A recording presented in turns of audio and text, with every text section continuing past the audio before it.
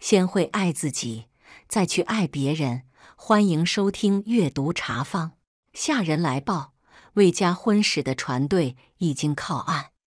正堂里，众人脸上一片愁云惨淡，只因魏侯在战场身受重伤，药石无医，走投无路下，才想到冲喜的法子。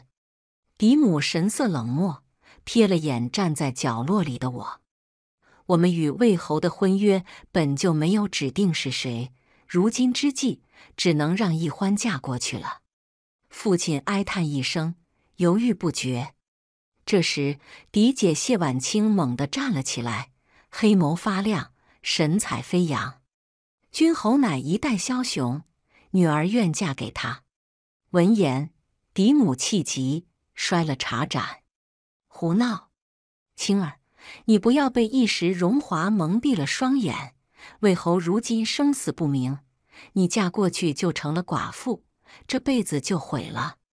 嫡母以为谢婉清是不甘心，毕竟她早就以君侯夫人自居，并多次警告我不要痴心妄想，日夜盼着魏侯打完仗来娶她。我没胡闹，也没有被蒙蔽双眼。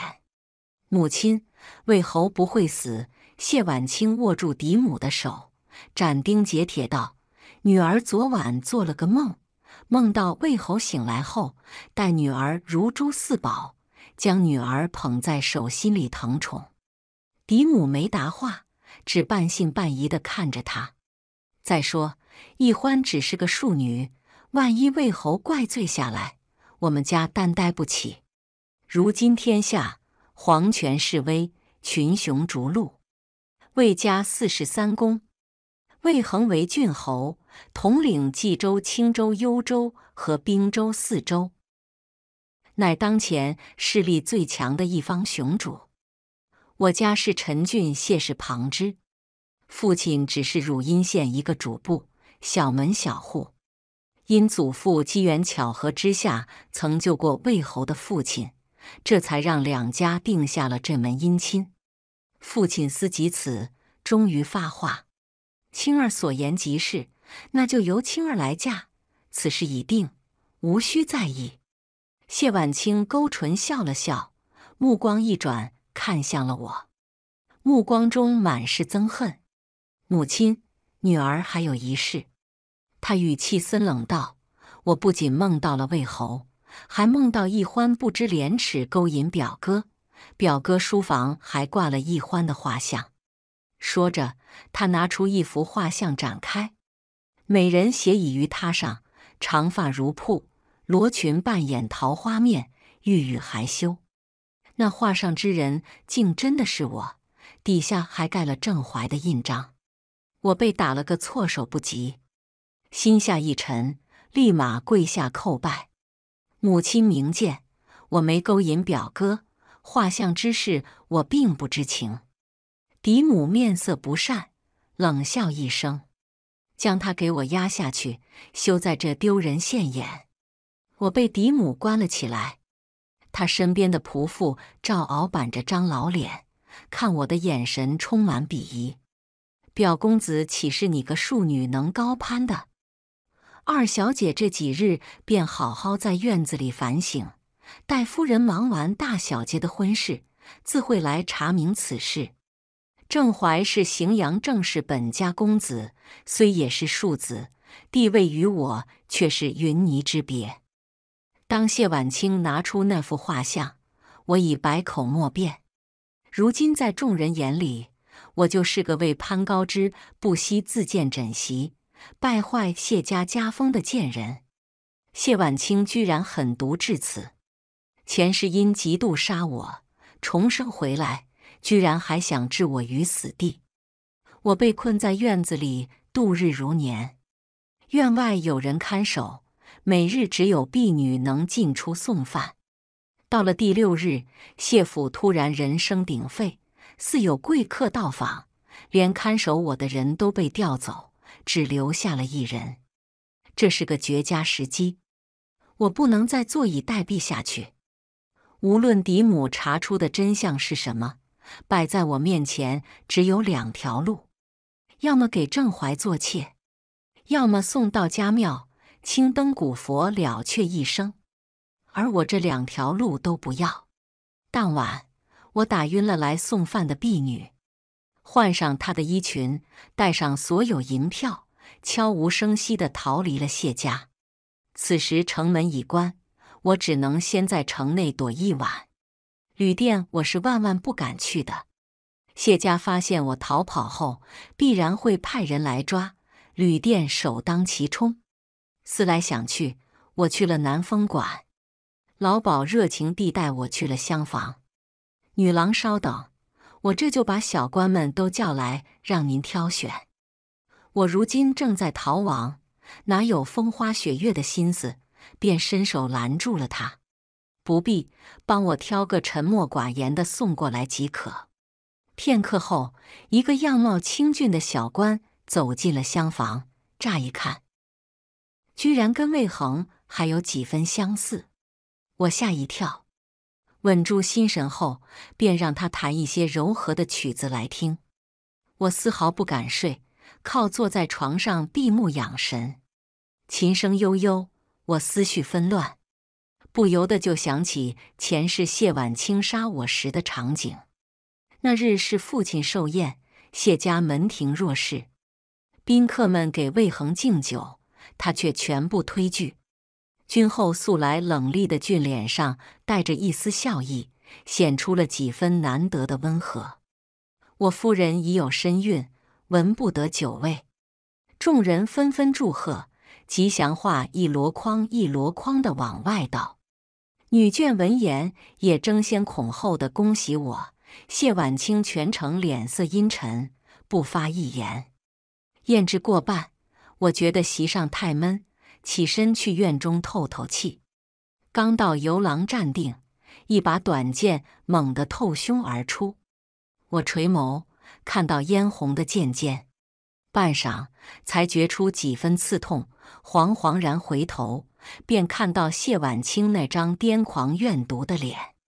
他拔剑而出，我胸口的血顿时喷薄而出，溅落满地。嫁给魏侯的人本该是我。谢易欢，是你偷走了我的一切。你一个低贱的庶女，攀上魏侯还不知足，为什么还要勾引郑怀？为什么还要抢走我的夫君？贱人，该死的贱人！凭什么他们都爱你？凭什么所有人都爱你？我浑身剧痛，缓缓倒在了地上。从婢女惊恐的眸子里，我看到自己浑身是血。浸透了群山，尖叫声划破天际。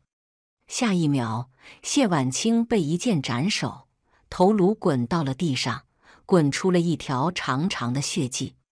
随即，我被人拥入怀中，意识弥留，昏昏沉沉。我没看清那人的脸，只闻到了一股极淡的檀香。檀香，我揉着太阳穴，仔细回想。脑子里灵光一闪，猛地睁大眼睛，那人居然是郑怀。郑怀的祖母常年礼佛，他是由祖母带大的，难怪谢婉清如此恨我。郑怀居然对我存着这样幽暗的心思，思及此，我不由得冷汗涔涔。还好我逃出来了，若留在谢府等候嫡母发落。摆在我面前，既不会是给郑怀做妾，也不会是送去家庙，我只有死路一条。谢婉清是不会放过我的。想了一夜，我最终决定去江南找个小镇开家医馆为生。此生我已心如止水，对情爱已无半点涟漪。谢婉清不知前世魏恒对我呵护备至。不过是做戏给他白月光看罢了。白月光宋玲是他兄长的妻子，他兄长病逝后就双居为其守节，却被魏恒暗中觊觎。小叔和寡嫂乃世道不容，注定不能在一起。魏恒便利用我来逼他，什么如珠似宝，什么真挚爱之，都是假的。一夜未眠，终于熬到清晨。此时城门已开，跟平日里不同，今日城门处戒备格外森严，不仅守卫多了好几倍，还对过往路人一个个盘查。我心中不由得打鼓，只能拼命安慰自己，不要胡思乱想。父亲只是个小主簿，以他的权势，根本无法调动这么多官兵来抓我，所以这些人的目标。不是我，一番分析下来，我心中安定了不少，从容的朝城门走去。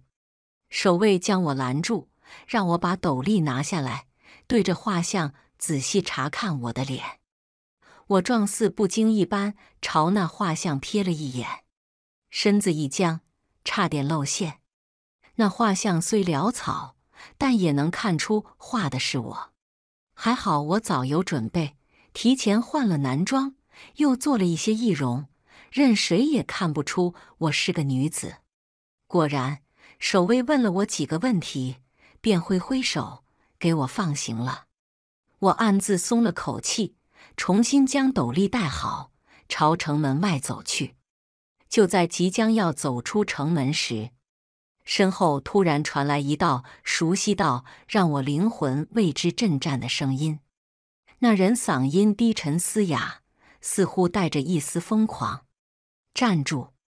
我没有停下，镇定地继续往外走。只有几步了，只有几步，我便能逃离这座樊笼，从此天高海阔任我飞。身后突然传来一声尖锐的破空之声，一支箭携着万钧之势从我发顶穿过。将我头上戴的斗笠射掉在地上，剑尖牢牢定在我脚尖前三尺之处，阻住了我的去路。剑雨震颤，嗡嗡作响，发带断了，满头青丝如瀑般散落了下来，引起过往百姓惊呼：“竟是个貌美女郎！”魏恒大步走到我面前，目如鹰隼，死死盯着我，抬头。我有些恍惚，慢慢抬眸，他眼前的魏恒长眉修目，面容英俊至极，只是脸色惨白，似大病未愈。对了，前世此时，魏恒还在还在昏迷之中，没想到重生后，他竟也早早苏醒过来了。可他怎会来汝阴县？是亲自来接谢婉清成婚的吗？魏恒眉眼裹着厚厚的寒霜，从喉咙里挤出一句话：“聘为妻，奔为妾，为了个籍籍无名的男子，你竟自甘堕落。”魏恒心里烧着一团火，烧得他心肝脾肺火烧火燎的疼。魏家婚事出发后第五日，他便突然从昏迷中苏醒，何府上下欢欣鼓舞。皆说谢女福泽深厚，人还未迎回来，就让君后化险为夷。魏恒这才明白自己重生了，想到前世谢易欢死在自己眼前那一幕，就肝胆俱裂，心如刀割。他一刻都等不了。谢婉清心狠手辣，不能让他待在谢意欢身边。魏恒不顾阻拦。执意拖着伤重未愈的身体去汝阴县亲迎谢女，魏家的船队一路乘风破浪，日夜兼程的赶路，总算在婚船即将离开汝阴县的前一晚赶到了。谢府张灯结彩，红绸盖头的新娘静静坐在里屋。魏恒没见过谢易欢穿嫁衣的样子，前世她嫁到魏家时。他还在昏迷之中，是族弟替他拜的堂。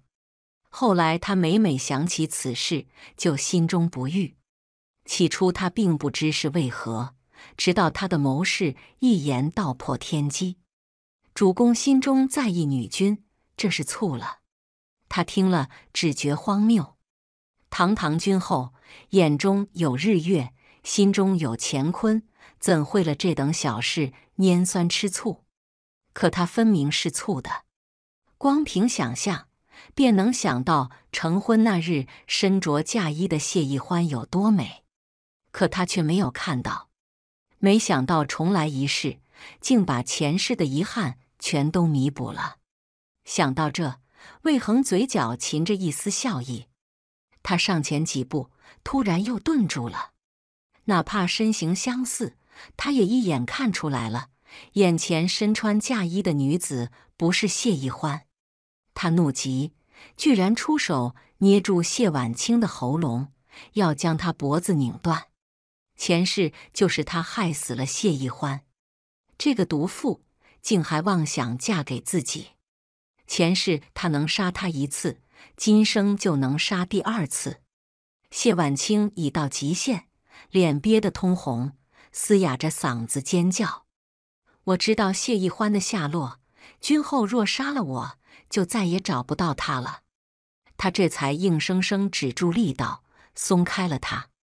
没人知道他心中有多害怕，他怕自己又晚来了一步，他怕谢易欢再次惨遭毒手，他怕重来一世，他们还是不能共白头。谢夫人拿出一幅画像，战战兢兢道：“君侯想娶易欢，本是他的福分，可君后晚来了一步。他早就跟他表兄暗通款曲，为了能跟他表兄私奔。”他还打伤了我府上一个婢女，逃了出去。如今只怕早就逃出了城。魏恒看到画像上郑怀的印章，醒目刺眼，手微微发力，猛地捏碎了桌角。他沉声道：“他还在城内。如今天色已晚，让他好好休息，明早看好城门，务必将人给我找回来。这一夜注定是个不眠夜。”魏恒脑子里一会是谢易欢的一颦一笑，一会又变成郑怀画的那幅画像。他不信谢女会对郑怀有情，但万一是真的呢？那团名为嫉妒的火苗，在他心中悄然被点燃，越烧越旺。我朝魏恒行礼，装作不认识他，镇定自若，质问：“这位郎君。”你我素昧相识，为何污我清白？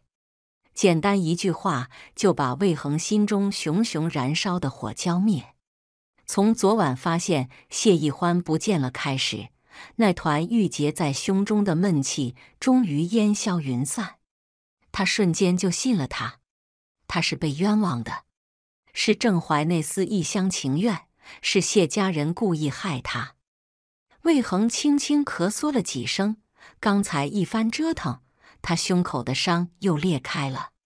他把自己的佩剑递给我，嗓音沙哑道：“抱歉，是我言行无状，愿受女郎一剑，为你消气。”我听得眉头微蹙。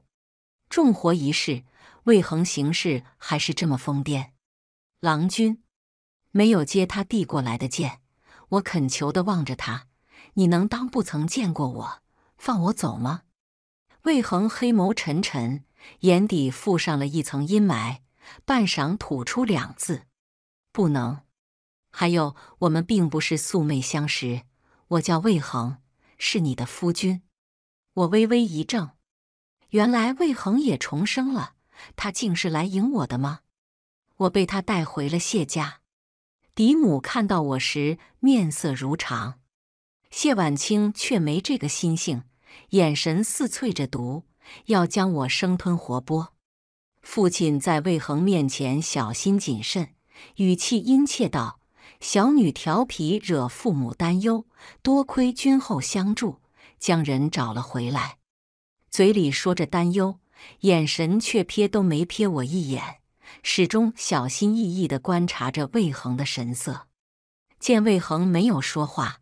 他壮着胆子继续道：“易欢是庶女，身份低贱，配不上君后。不过，既然她与君后有缘，在下便把她送给君后为妾，晚清为妻，易欢为妾。她们姐妹二人共侍一夫，也算是一桩美谈。”魏恒眼神狠厉，面如冰霜，身份低贱。本侯娶妻，若看重身份。哪轮得到你谢家？你若再敢多说一个字，现在就让你身首异处。父亲被吓得全身发抖，趴在地上冷汗直流，再不敢多言。魏恒牵着我的手往外走，即刻启程回青州成婚。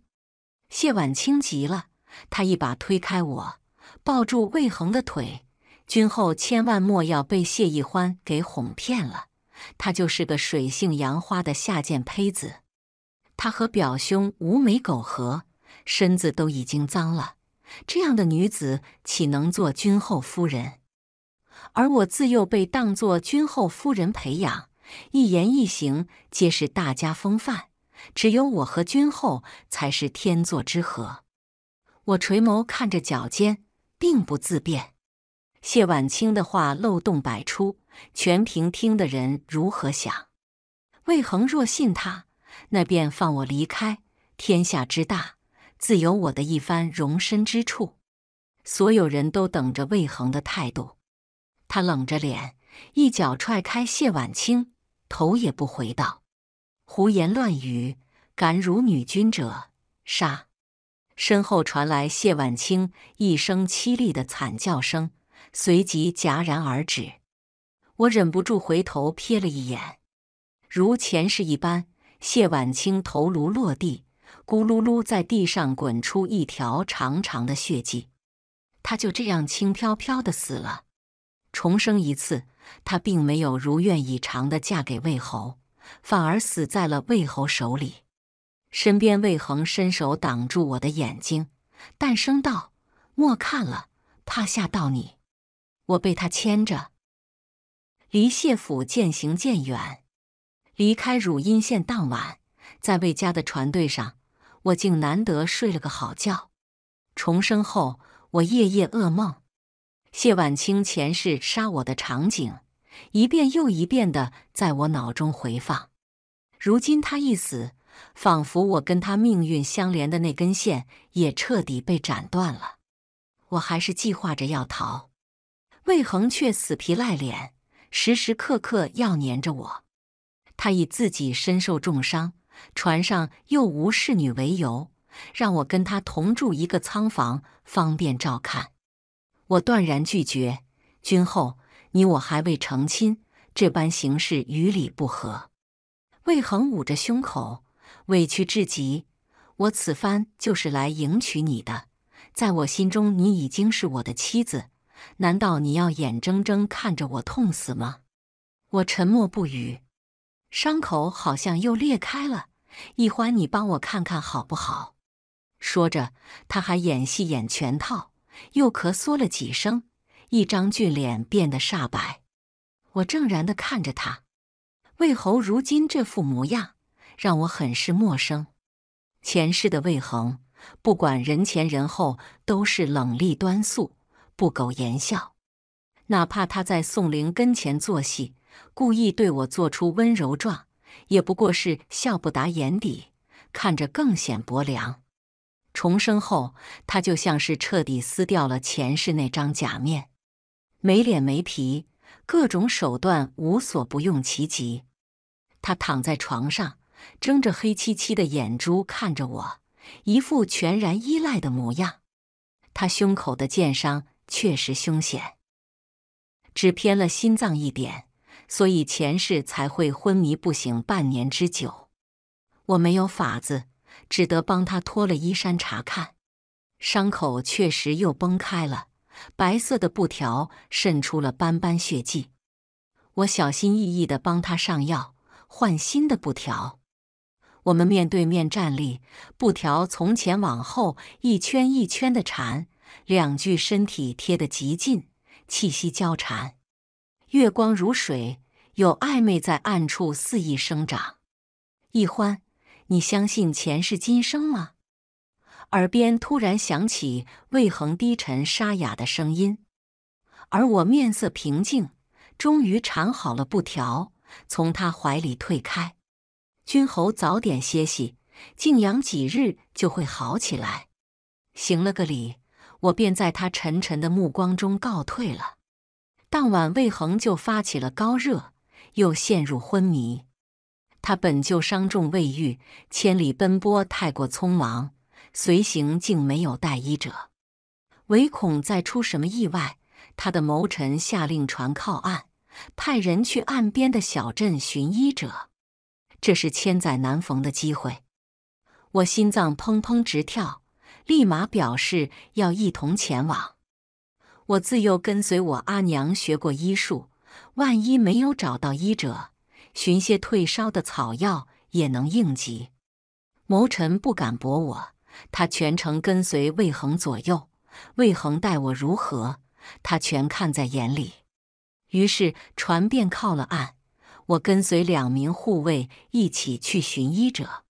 这一去，我便没再回头。我一路走走停停，找到了一处江南小镇，便定居了下来。小镇地处偏远，不受战火纷扰，群雄逐鹿，与百姓何干？普通百姓所求也不过家人平安、安居乐业罢了。而这也正是我所求：一屋一人，三餐四季，最平凡的幸福。我如愿开了家小医馆，自己去山上采草药，倒也能维持生计。魏恒也没再出现过。夫人没了可以再娶，何况我与他并未成亲。春去秋来，光阴流转，我已在青石镇待了四个年头。外头硝烟四起，过路的旅人偶尔会带来一些外界的消息，皆是有关魏侯。魏侯打下了大半江山，各路英雄豪杰尽收麾下，只剩下一些残余势力苟延残喘。一统天下指日可待。魏侯对君侯夫人情深意重，聚了无数美人，对外宣称此生唯爱夫人一人，绝不怜姻纳妾。春花睁着圆溜溜的大眼睛问我：“姨母，你见过魏侯吗？他是隔壁芸娘的孩子，如今才四岁，是我接生的第一个孩子。看到他，我总是会想起前世我的孩子。”那个孩子在我肚子里才三个月，都没来得及出来看看这个世界。如果有机会出生，想必会和春花一样可爱吧？我沉默了一瞬，笑道：“魏侯乃盖世英雄，姨母跟你一样，整日待在青石镇，自然是没见过。”他眼睛亮晶晶的。那我长大了要嫁给盖世英雄。云娘笑他不知羞。端了碗黑乎乎的药递到他跟前，你连喝个药都哭鼻子，盖世英雄可不喜欢哭鼻子的小孩。不喝不喝，阿娘我病早就好了，我要出去玩了。春花果然一蹦三尺高，一溜烟的跑开了。我和芸娘相视一笑，芸娘是在一个雷电交加的晚上，挺着孕肚倒在了我的医馆门口。我救了他，帮他把孩子生了下来，他便也在青石镇安了家。他的刺绣功夫一绝，靠绣品就能养活自己和孩子。他也是有故事的人，只是我们都不曾探究过对方那些不愿提及的往事。春花吓得脸色发白，急急忙忙跑过来：“阿娘，姨母，那边山坡下有个人，浑身是血。”好吓人啊！我是医者，救死扶伤，匆忙赶过去就想救人，把人翻过来一看，一张熟悉的俊脸映入眼帘，是魏恒。在芸娘的帮助下，我们一起将魏恒抬进了医馆。他全身上下多处剑伤，其中最凶险的还是腹部，一个黑乎乎的血洞透背而出。堂堂君后为何会将自己弄成这般凄惨模样？又怎会凭空出现在这里？他的将官了，他的部下了。我又气又怒，不知为何，给他上药时手都在抖。芸娘看了我一眼，握住我的手道：“易欢，莫慌。我怎么可能慌？青石镇四年，我早已看惯生死。”如今魏恒在我眼里就是个病人，我是医者，我自当会竭尽所能救他。冷静下来后，我面无表情，开始处理所有伤口。到了晚上，魏恒发起了高热，像是被梦魇住了，嘴里念念有词。我凑过去查看，听到他断断续续喊着我的名字，声音里满是痛苦。易欢，求你不要离开我！我微微一怔，在他床前枯坐到天明。天光乍亮时，魏恒长长的睫毛微颤，缓缓睁开了眼睛。他眼神茫然无措，看着我时瞳仁漆黑，似幼犬之如目，开口问道。这是何地？我是何人？他竟失忆了，不记得自己是谁，也不记得自己的身份。我告诉他：“你是魏侯，魏恒。”他蹙眉想了半天，摇头道：“记不起来了，但我记得你。”他说在梦中见过我，在梦中我是他深爱之人，是他的夫人。一番话似真似假。让人不知他是真失忆还是假失忆，僵着脸道：“梦都是假的，我就是青石镇一个小小医者罢了。”说罢，我转身出去了。到底是常年征战沙场的悍将，魏恒的伤看着凶险，好的却很快。他穿布衣，做平民打扮，赖在我的医馆里不肯走。我赶他离开。他却道：“不能让我白白救他一命，要以身相许。”我说：“今生不嫁。”他便说：“那就给我做牛做马，报答我的恩情。”青石镇就我一家医馆，来医馆看病的百姓很多，他便拿着方子在一旁帮忙抓药熬药。我去走访病人，他就紧随我其后，扮作药童。周敖有头疾。我时常上门给他针灸缓解。那日针灸完，他眉眼带笑，冲魏恒道：“郎君生得好看，定能得医者欢心。”魏恒也笑了，黑眸熠熠生辉，英俊至极，从容道：“多谢，我还需努力。”我狠狠瞪他一眼，转身回了医馆。经过杀猪铺时。铺子里的黑衣少年红着脸喊住我：“医者！”我停下脚步，目光清凌凌地望着他。何事？他走到我跟前，塞了一大块猪肉给我，语速飞快道：“这是今日刚杀的猪，医者拿回家去补补身子。”我一脸愕然。魏恒已经飞快抢过那块肉，还给了少年，语气硬邦邦道。无功不受禄，少年不服，我心悦医者愿意给他。魏恒也不服气，你心悦不了，我已经先心悦过了，排队都轮不到你。两人竟幼稚的斗起了嘴，我一阵头疼，溜之大吉。回到医馆后，魏恒情绪格外低落，不发一言，似是气得不轻。我取笑他。你比人家大，怎还和小孩计较？魏恒望着我，狠狠道：“他才不是小孩，竟敢暗中觊觎你，哪里像个小孩了？”魏恒越说越委屈：“你为何要帮他说话？你是不是也心悦于他？”我含笑看着他，总觉得他像春花养的那只花猫，竖着尾巴坚守地盘，不让外面的野猫踏进半步。魏恒眼眶都红了，黑眸氤氲着一层薄薄的雾气，一把抱住我，在我耳边带着哭腔哀求：“易欢，你别心悦他，我比他好看，比他能打。”住在青石镇的魏恒，跟我记忆中的魏侯完全判若两人。我真的有些难以抵抗如今的魏恒，一腔赤诚，毫不保留，四目相对。彼此都看到了对方眼中的情意，他吻了下来，含住我的唇，辗转思磨。意乱情迷时，他在我耳边声声唤道：“易欢，易欢，你可愿意跟我回洛阳？我绝不负你。”我顿时清醒过来，猛地推开他，眼神冷了下来。你恢复记忆了？为何骗我？魏恒急道：“就这几日想起来的。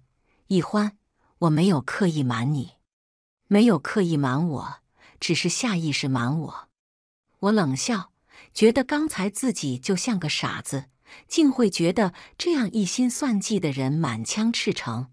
你走吧。魏恒站着不动，目光深深凝视着我。好，你不走，我走。我转身就跑出了医馆，我不知该往哪走，但绝不想再看到魏恒。他总是骗我，总是做戏。前世床榻之间，他用绵绵情意哄我。下了床榻，我便看到他和他的白月光宋灵纠缠不清。大嫂，看清楚，我不是大哥，我不做替身。我漫无目的跑。在树林里被一群黑衣蒙面人拦住去路，他们举刀杀来时，我闭上了眼睛。预期的痛楚没有传来，魏恒持剑挡在我的前面，将我护得密不透风。短兵相接，刀剑厮杀声不绝于耳。那些蒙面人出手狠辣，先是刀刀往魏恒的要害处砍杀，看出魏恒分外在意我。又转换目标攻向我，敌众我寡。魏恒为了护我，处处受制。我厉声道：“别管我了，这样下去，我们都得死。”魏恒回头冲我一笑：“你说什么傻话？我死也不会让他们伤到你分毫。”他的剑法，倏地变得凛冽起来，用的杀敌一千自损八百的法子，把黑衣人悉数歼灭。满地尸首，血腥味弥漫。魏恒浑身是血，像尸山血海里爬出来的杀神，眉眼都是斑斑血迹，却冲我温柔一笑，轻声道：“易欢，不要生我的气了，好不好？”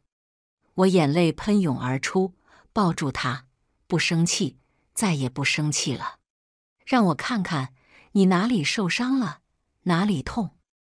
我颤抖，着手去撕扯他的衣衫，迫切的想查看他的伤势。他按住我的手，轻声笑道：“夫人莫急，带回家给你看个够。现在还有其他事需要解决。”背后传来一道清冷的女声：“真是一出郎有情妾有意的好戏。”我怔住，缓缓回头看去。宋灵如神女般从天而降，身边还站着一个跟魏恒容貌一模一样之人。那人只可能是魏恒双胞胎兄长魏听，可他不是早就死了吗？魏听走到魏恒面前，叹了口气：“你怎么还活着呢？如今天下一统，已经用不着你了。你活着对谁都不好。”魏恒撑着剑斜斜站着。无所谓的笑了笑，让兄长失望了。宋灵远远瞥我一眼，这就是你那藏起来不让见人的君后夫人，真是让我们一番好找。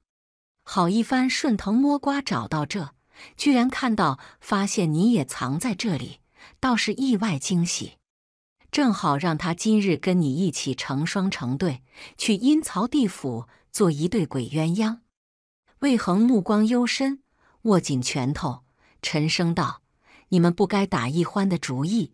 他在青石镇避世，从未参与我们之间的争斗。”宋灵抿唇一笑，看着不顺眼，杀便杀了。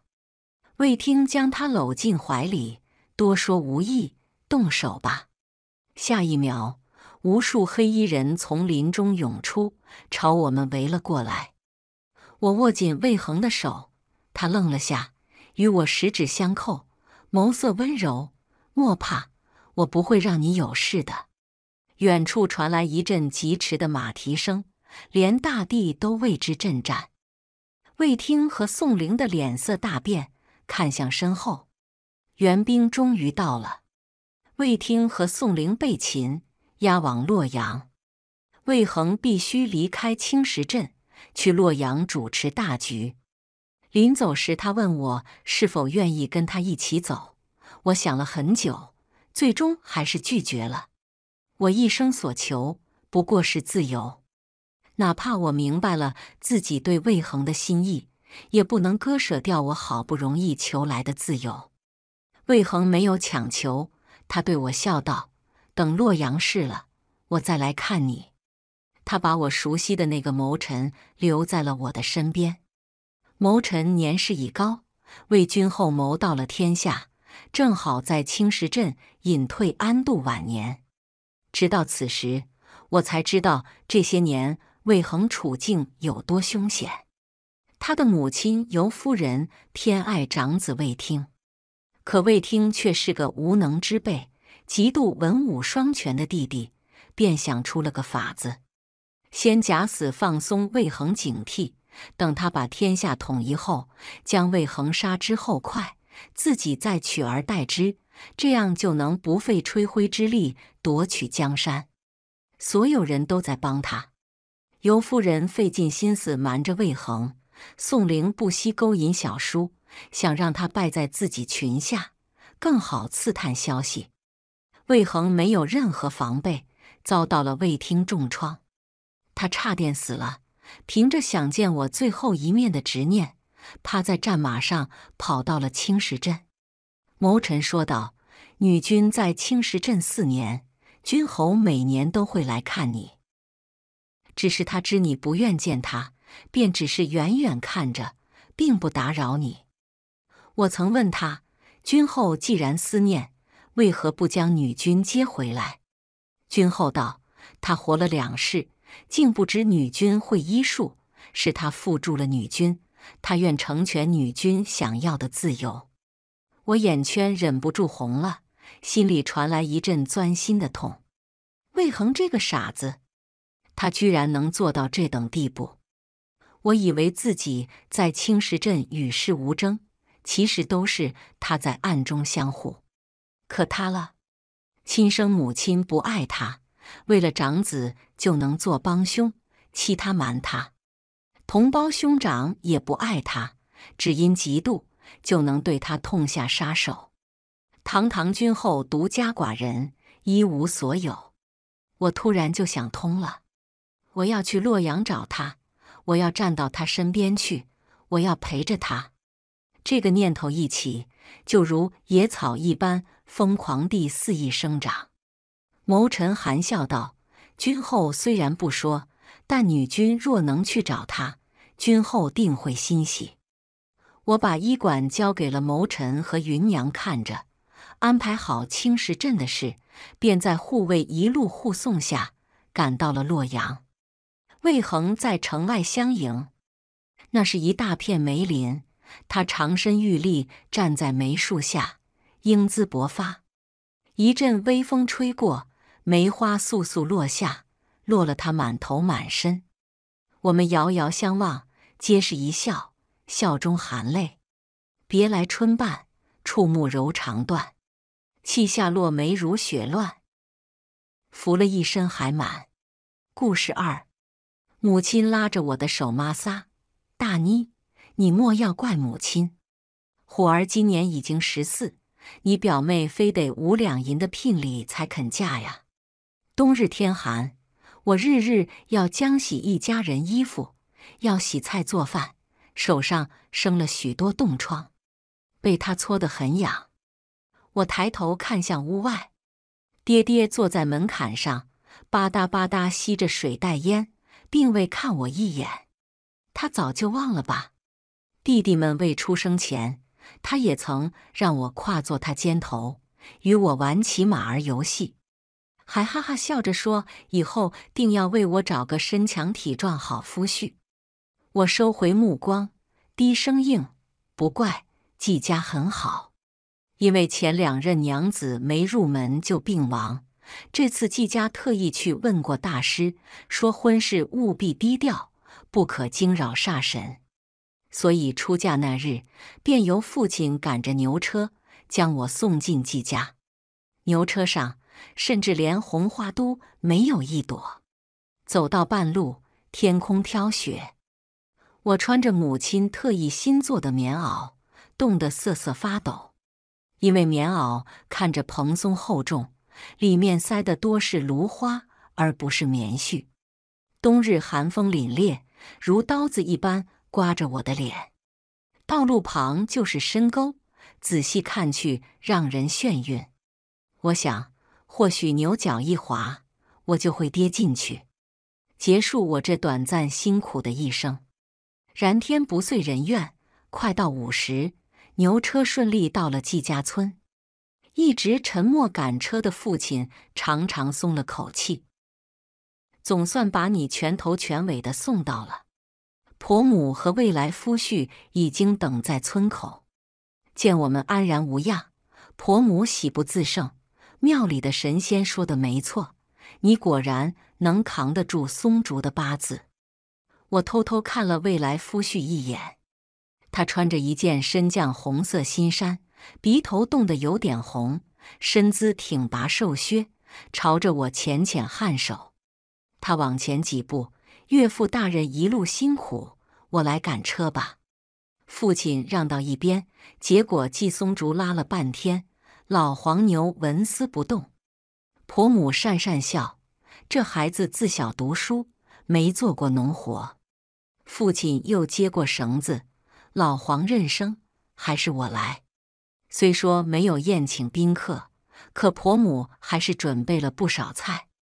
她给我舀了一碗热鸡汤，里面有一只大鸡腿，一路上冻着了，快喝点热乎的。我迟疑了几秒，将鸡腿夹给季松竹，小声道：“夫君，你吃。”父亲在一旁陪笑：“大妮自小能吃苦，不用太娇惯。”季松竹淡淡笑了下，又夹回我碗里：“你瘦，你吃。”婆母也劝：“吃吧，吃吧，还有呢。”我小心翼翼咬了一口，眼眶不由红了。自弟弟出生后，我再也不曾吃到过鸡腿。吃过饭，婆母留父亲住一晚，他却急着要回去，家里事多，走不开。婆母给了他一包煮熟的鸡蛋，带回去给孩子吃。父亲推辞一番，接了过去。我跟着送到门口，他回过身，不用送了。往后这就是你家，好好孝顺婆母，伺候男人。风雪烈了，迷人眼，我却哭不出，只点点头。嗯，他都赶车走出一小段，又匆匆回来，从腰间摸出小小碎银子，塞我手里，拿着吧，别跟你母亲说。乡下人嫁女子，嫁妆一般是被子、花布这些。母亲准备的东西看着又大又多，可婆母上手一拎就变了脸色。我知道那些看着厚重的棉花被里缝的都是芦花，我局促又羞愧，却不知该说什么，只能将碗筷收起，拿到井水边去洗。刚把水提上来。婆母风风火火过来了，她抢过我手里的碗，哪有要你一个新媳妇干活的道理？他放下碗，看到我手上斑驳的冻疮，长长叹口气：“快进屋陪松竹去吧。”夫君正坐在炕上看书，并未写字。见我进来，他白皙的耳朵红了红，往一侧让了让。那一页书。他看了一整个下午，很快到了用晚膳的时候，婆母给我盛了满满一碗白米饭，说我太瘦，要多吃点。她是真的待我好。用完晚膳，婆母点了红烛，又在炕沿贴了两个红喜字。她拍着我的手：“松竹命不好，婚事也不敢张罗，委屈你了。”我摇摇头：“不委屈的。”红烛燃了过半，夫君还在看白日里那一页书。我小声问：“夫君不睡吗？”他清了清嗓子，这就睡了。说着就要去吹蜡烛，我拉住他：“不能吹，吹了就没法到白头了。”他坐在床沿摇曳的烛火里，神色有点颓然。我肩不能挑，手不能提，读书又一直不中。与我共白头，也恐委屈了你。关于他的事，早有好事的乡亲与我说过。据说他聪慧至极，十二岁就已是乡里的童生。然而自那之后八年，每次秀才考试，他总是落榜。明明考完，他默写的试卷均得到一致好评，可最后一放榜，总也没有他的名。加之两任妻都在新婚前死了，乡里人人都说他是扫把星转世。若非如此，以他的家境和相貌，也轮不上我。我鼓起勇气握住他的手，我觉得你很好，婆母也很好，能嫁给你，我一点也不委屈。就是我不识字，不知夫君是不是嫌弃。他撩起眼皮看我一眼。突然就笑了，语气那般柔和。咱们从前见过，你忘了吗？去年夏日一场暴雨，我忘记带伞。我想起来了，那日我拿着家里的三十个鸡蛋去集市售卖，回来时遇到暴雨，路边也无避雨之处，幸得好心农妇给了我片大荷叶，顶着走了一段，遇到个书生。护着一大摞书，淋得鼻子眼睛都瞧不清楚，看着怪可怜的。我自幼吃苦长大的，也不怕这点风雨，于是将荷叶塞给他，冒雨回了家。我很意外，原来是你，这亲事似乎多了点命定的味道。我颤着手摸索他的衣扣，被窝已经热好了，书明日再看吧。他脸色绯红一片，顺势脱衣进了被。没想到他瞧着瘦，力气倒也不小。事后还不顾冷的爬起来去给我拧毛巾擦身。于我而言，这就是神仙夫君，金玉良缘。睡去前，他亲了亲我的唇，书里说的温香软玉，原是如此滋味。我羞赧的缩入被中。脑中突然闪过一些画面：一个年轻男子送了他快墨，他于考场上用了；又一幕是考官阅卷，一展开他的卷子，便喷嚏连天，涕泪齐下。于是匆匆扫过一眼，便将卷子放到落榜那一堆。再一幕是他颓然地站在府学门口，轻飘飘的雨滴像是要压弯他的脊梁。我身体一颤，季松竹却笑了：“不必害怕，我不闹你了，睡吧。”我困倦极了，沉沉睡去。娘，他不会有事吧？怎地还没醒？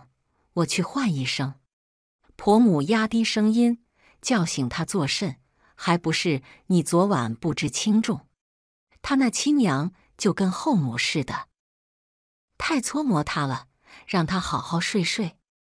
皑皑白雪反射日光，亮灿灿的落入房间，炕还暖融融的，不像在娘家时，我的屋子离灶头远，炕总是没热气，被子硬邦邦，被窝永远是冷冰冰的。我翻身下床，季松竹马上推开了门，迅速扫了我一眼后，耳根微红，若是累，再睡会。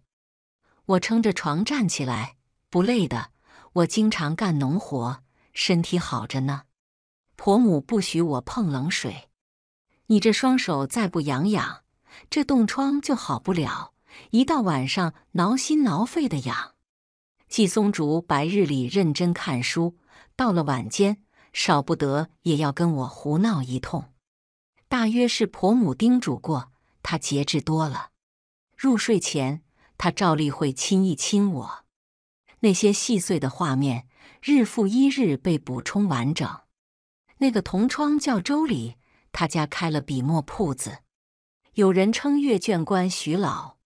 如此半月好吃好喝，我感觉之前的衣物竟穿着有点紧。夜间松竹搂着我，娇娇，你总算胖了些。二月底天气还很严寒。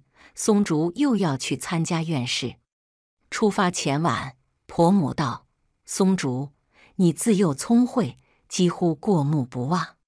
若是这一次还是考不上，那便是命。往后你就与娇娇好好过日子。松竹慢慢扒着饭粒，沉沉应道：“嗯。”烛火摇曳，他神色凝重郁结。我想到连日脑中画面，不由问：“你是不是有个同窗唤作周礼？他家开了个笔墨铺子？你如何得知？”周礼的主考官可是姓徐？季松竹放下筷子。你还知道徐教育？我摇摇头，不知，就是脑子里突然闪现一些画面。我将所见之事细细说来，婆母神色大变。松竹皱眉，鬼神奇幻之说，圣人皆云。婆母一把打断他：“你闭嘴！宁可信其有，不可信其无。娇娇从未出过这个镇子，却能知晓这些。”这就是老天爷在帮你，你万万要防着，不可再用那个周礼所赠之物。你的饭食我也为你准备好，你就闭门不出，谁也别见。我与婆母连夜忙活，热气腾腾里，我问母亲：“您信我？”当然，咱们是一家人，你还能害松竹？我小时候亲弟弟小豹。也闪现过他发高热不治而亡的画面。我告诉母亲，她不信。后来小豹真的发热死了，母亲说我是扫把星，小豹就是被我咒死的。后来他也不让我碰小虎，我自然也没遇见过什么。第二日天蒙蒙亮，我跟婆母便送松竹出门，一路上遇到很多早起将喜的婆娘。婆娘们嘴碎，哟，又去州里考试啊？这次一定能考个秀才回来吧？话音刚落，一群人就捧腹大笑。李正家的胖婶叹气：“季武，不是婶说，你空有文曲星的才，就没有文曲星的命，就好好待在家种田吧。”婆母眉毛一竖，冷冷笑道：“怎么着？”我家儿不愿意娶你那胖闺女，你现在还有气呢？婆母握着我的手，主要你家闺女脾气好，秉性差。你瞧瞧我这水灵灵的儿媳妇，谁见了不说好？胖婶气得肥肉直抖，得意个什么？你儿子种田，你孙子以后也种田。我闺女可是在与张秀才一亲了。我深吸一口气。直直看向他，语气坚定：“夫君这次一定能中。”季松竹偏头看我，朝霞染红天侧。我朝他嫣然一笑：“夫君，你一定行。我和婆母在家等你的好消息。”他眉目舒展，灿然一笑，如千树万树梨花齐开。好，夫君定让你当上秀才娘子。一时间。所有的婆娘们都吸口气。松竹接过我手里包袱，踏着朝阳走上官道。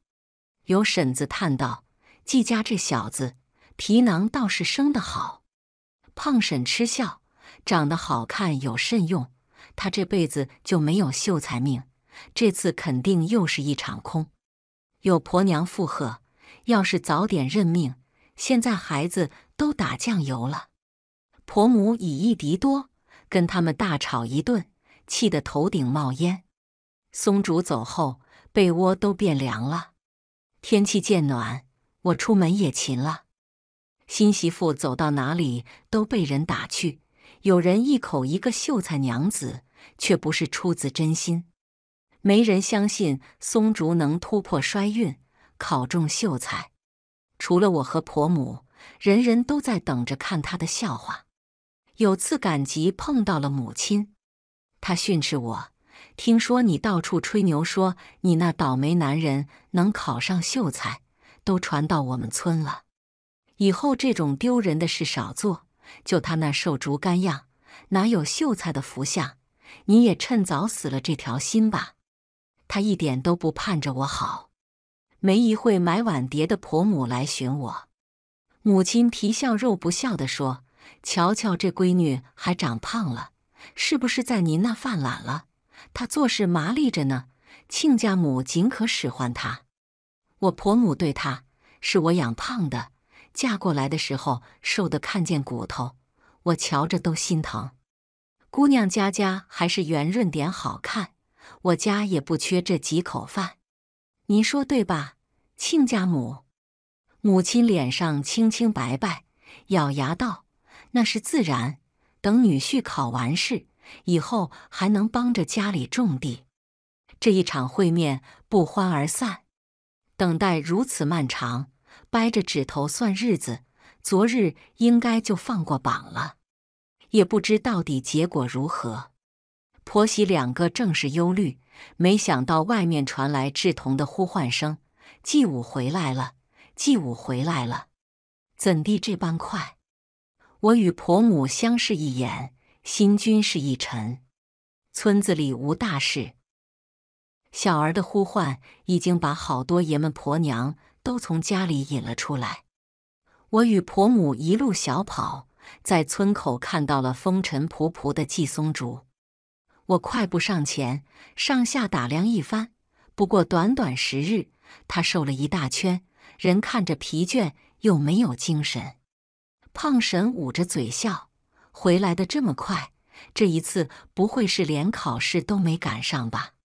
我红了眼眶：“安全回来就好。”婆母是个急性子，在一众看热闹的人目光中发问：“如何？考上了吗？”所有目光都落在他身上，胖婶笑得一身的肥肉都在抖。昨日才放榜，他今日就回来了，哪能这么快？这一次怕是都没考完吧？瞧瞧这瘦的，莫不是生了一场大病？众人均是果然如此的表情。婆母眸里的光熄了，我顾不上许多，牵住松竹的手，低声道。无碍的，咱们下回再考。你才二十呢。他垂眸温柔看我，考上了。他微笑着环视众人，劳乡亲们惦记。这回在下考上了。一时间鸦雀无声，连料峭春风都停止吹动。胖婶皱着眉，真考上了？莫不是骗人的吧？话音刚落，村口有人在高喊。季秀才，季秀才，一个小厮模样的人匆匆而来，手里还拎着个包袱。季秀才归家心切，倒是把包袱忘在马车上了。李正见多识广，已经认出此人是县尉身边的随从。双方见过礼后，小厮道：“季秀才，五日后我家老爷请您过府小酌，您可别忘了。”原来他能回得如此快，是搭了顺风车，连县尉老爷都请他吃饭，可见这秀才是真真的。婆母高兴坏了，嘴里把各路神仙几百代祖宗都感谢了一遍，不停的掉眼泪。我忙从衣袖中摸出一些铜板递给小厮，樊大哥还跑一趟，乡里泥重，大哥拿这个去刷刷鞋。小厮意外瞧我一眼，推辞几下便收了。他一走，众人看松竹的眼神立马变了。本来胖婶站松竹对面，此刻众人齐齐围上来，一口一个秀才老爷，生生将他挤到一边。他嘀嘀咕咕，还真是撞狗屎运。话还没说完，李正就拍了他胖脸一下：“闭嘴！”你个什么都不懂的婆娘，二十岁的秀才，咱们全县一只手都数得完。胖婶之前引以为豪的张秀才，三十岁才中，去年丧妻，孩子都十一了。饶是如此，也还是香饽饽。与他比起来，松竹就是一碗流油的红烧肉。我被一声声的秀才娘子叫着，整个人都是恍惚的。好容易摆脱相亲到家，松竹喝了一大碗热茶后，看向我：“娇娇，你怎地像是有心事？我我怕当不起这个秀才娘子，我就是一乡野妇人，相貌寻常，无才也无才。松竹还没说话，婆母竖起眉：“你当不得，那谁还当的？哪怕公主都比不得你规避灾祸。”他训松竹：“你万万不可因为中了秀才就生出别的心思，我一万个不许。”季松竹浅浅一笑。娘，我不会的。糟糠之妻不下堂，他含笑看我。何况我的娇娇还好看着呢。这人中了个秀才，嘴里跟抹了蜜似的。心顿时放下来。婆母开始问院士的细节，诚如我预见的那般，那个周礼此番也参加考试，又送了松竹一块好墨，说这墨是京城来的。色泽油亮，不易晕染，达官贵人们都喜欢。松竹从包袱里取出那一块墨，我听了你们的，并未使用。婆母和松竹闻不出什么，可我自幼鼻子灵敏，闻到了一股淡淡的花香。你们等等，我去叫翠花过来。翠花是隔壁的小媳妇，她很快过来，我拿着墨给她闻。她顿时喷嚏连天，涕泪齐下，嗔道：“好你个五娘子，夫婿考上秀才，就把这墨弄上花枝戏弄我呢！”果然如此。那个周礼想必不知是从何处得知周礼的主考官与翠花有一样的毛病，所以用处理过的墨送给松竹。阅卷官一碰试卷，就涕泪齐下。如何还能好好看完？纵有满腹才华，也只能回回落榜。真是好歹毒的心思！婆母七窍生烟。偏这时候，门外传来年轻男子的声音：“季兄，季兄在家吗？”正是那周礼。婆母气得要去厨房提菜刀，松竹拽住他：“母亲，我来处理。”夜色层层翻涌，如浪一般滚上来。院子里光线暗淡，周礼站在石榴树下，扯起脸皮笑：“季兄竟未等我，便匆匆而归。恭喜季兄中了秀才，此番我又落榜了。”松竹站在厅堂处，明亮的烛火打亮他俊秀的五官。他沉声道：“周兄进来说吧。”我心里有气，给周礼倒了一杯冷冰冰的隔夜茶。松竹也未多言，只将那块墨取出来，放于桌上。周礼手一颤，冷茶溅了一手。原来如此。松竹眸中隐痛：我视你如兄弟，你为何如此？周礼涩然一笑：我们自幼拜在一个先生门下，你聪慧过人，我却蠢笨愚钝。我爹时时说：“你要有季家小子一半便好了。”我也日日读书，我也从未懈怠，可为何我就是不行？他激动地站起，眼眶通红。既是好兄弟，更要一起进退。松竹将那块墨推过去。我早与你说过，你的天分不在读书，你是天生的商人。墨还你，你我自此恩断义绝。周礼下颚绷得紧紧的，季松竹，你装什么高尚？婆母再也忍不了，提着菜刀冲出来，吼道：“滚！不然我剁了你喂狗！”院子里的大黑似乎听明白了，嗷嗷叫个不停。周礼神色颓唐，踉跄离开。我很愤怒，太便宜他了，他蹉跎了夫君好些年。季松竹拉住我的手，浅浅一笑：“证据不足，若他拒不承认，仅凭一方墨，无法定罪。且若不是他，我也不能与你成夫妻。”夜间两人缱绻细聊，我才知周里连日下雨，他带去的干粮发了霉。他担心吃外食有意外，硬生生饿了三天。难怪今日见他瘦了许多。我心疼坏了，身体要紧，大不了下回再考。他轻轻吻住我，那可不行。我答应过你，让你做秀才娘子的，怎能失约？小别胜新婚，自是一夜缠绵。第二日本想多睡会，结果父母带着两个弟弟来了。婆母煮了鸡蛋待客，虎儿和牛儿口里塞一个，还往兜里揣两个。母亲一脸慈爱，这两个孩子就是能吃，不像大妮，吃饭就跟小猫舔食似的。婆母差点没翻白眼。娇娇在我家胃口挺好的，或许家里孩子多，她让着弟弟；又或许是亲家母做饭不合她胃口。母亲脸色一僵，转而谈起此行目的。原来他们想把两个弟弟记在季家的名下。朝廷有规定，中了秀才往后田地不用上交赋税，家里人也不用服兵役徭役。虎儿和牛儿都是男丁，按既往规定，他们必然有一个要被征兵。但若记在季家户头上，便可免去此条。母亲拿着帕子假哭：“大妮，他们可是你亲弟弟，刀剑无眼，若是上了战场，那还有命回来吗？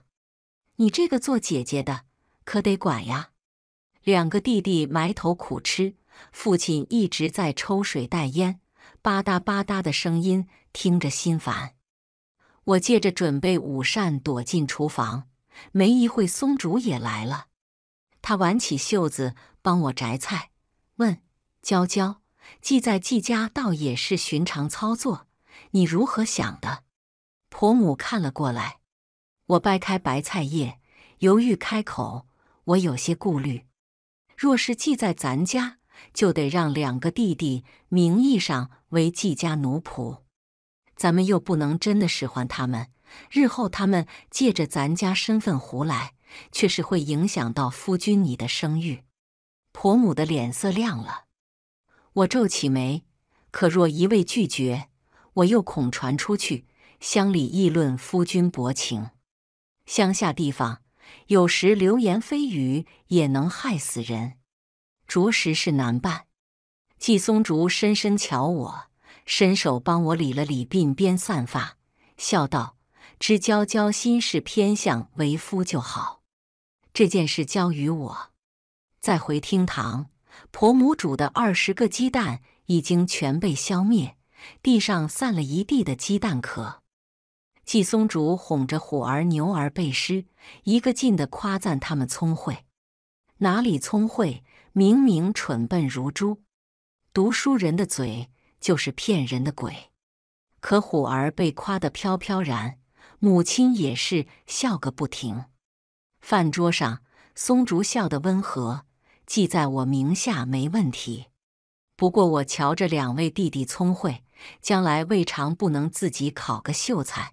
若是记在我家名下，以后终身为奴，免了兵役徭役，可也没法子读书出头。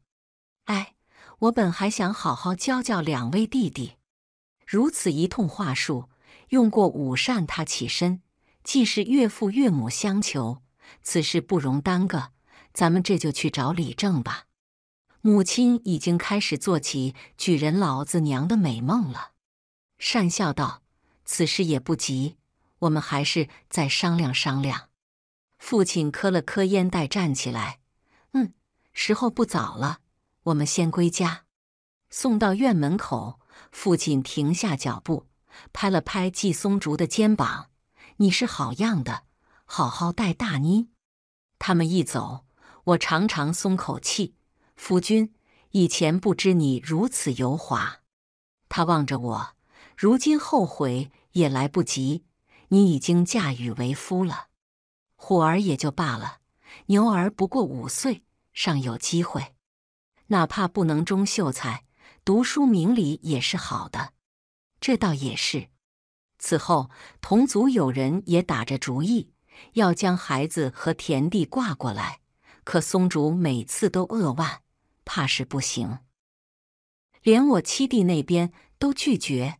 若是如今应了你，岳父母那里该如何交代？想来当时他套路父母，便已经想到了此处。秀才已中，接下来便是要考举人，这可谓至关重要。因为中举后，便拥有了做官资格。全国秀才如此多，三年一次的乡试，能中举人的却只有千数人。多少秀才苦读一辈子，最后白发苍苍，都无法中举。为了前程，松竹须得去州里学堂才好。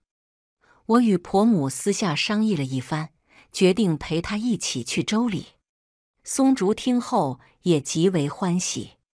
婆母办事利索，两天的功夫便交割好了家里的各种事宜，带不走的鸡鸭鹅都送给了父母。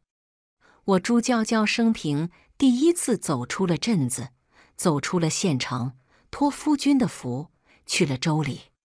州里热闹非凡，我们赁了一处小院，前头卖豆腐，后头住人。松竹平日住在学院，一月有三五日会回家。城里人多，大家都很忙碌，秀才也多。一开始左邻右舍艳羡几句，后来便也是寻常。如此过了两年，万事皆安。虎儿念了书，虽说笨拙，性子却真的磨好了些。母亲似乎回过神来，知松竹当初有搪塞之意，我提礼回娘家，他却没个好脸色，背着人骂我喂不熟的白眼狼。李正左右活动，最后胖女儿大花嫁给了家境殷实的商人，又一举得男，在村里走路都带着风。年节时穿金戴银的回家，好不得意，还讥讽我这秀才娘子当的也没什么意思，连个值钱的首饰都没有。且我听说举人可难考着呢，好些秀才蹉跎一辈子，也只是个秀才。你成婚两年，怎么肚子一点动静也没有？他摸着自己凸起的小腹，夫君可说了，此番我若得男。给我五十两银子，又得知我与婆母当街卖豆腐，就更是轻蔑。许是他散播，乡里的人开始议论起来。一说我抛头露面不体面，二说我成婚多年无所出，三说松竹江郎才尽，怕是考不上举人。婆母本开开心心归家，却受了好大一通气。好在元宵后。我们就启程离了乡土，天大花也跟着经商的夫家来了州里。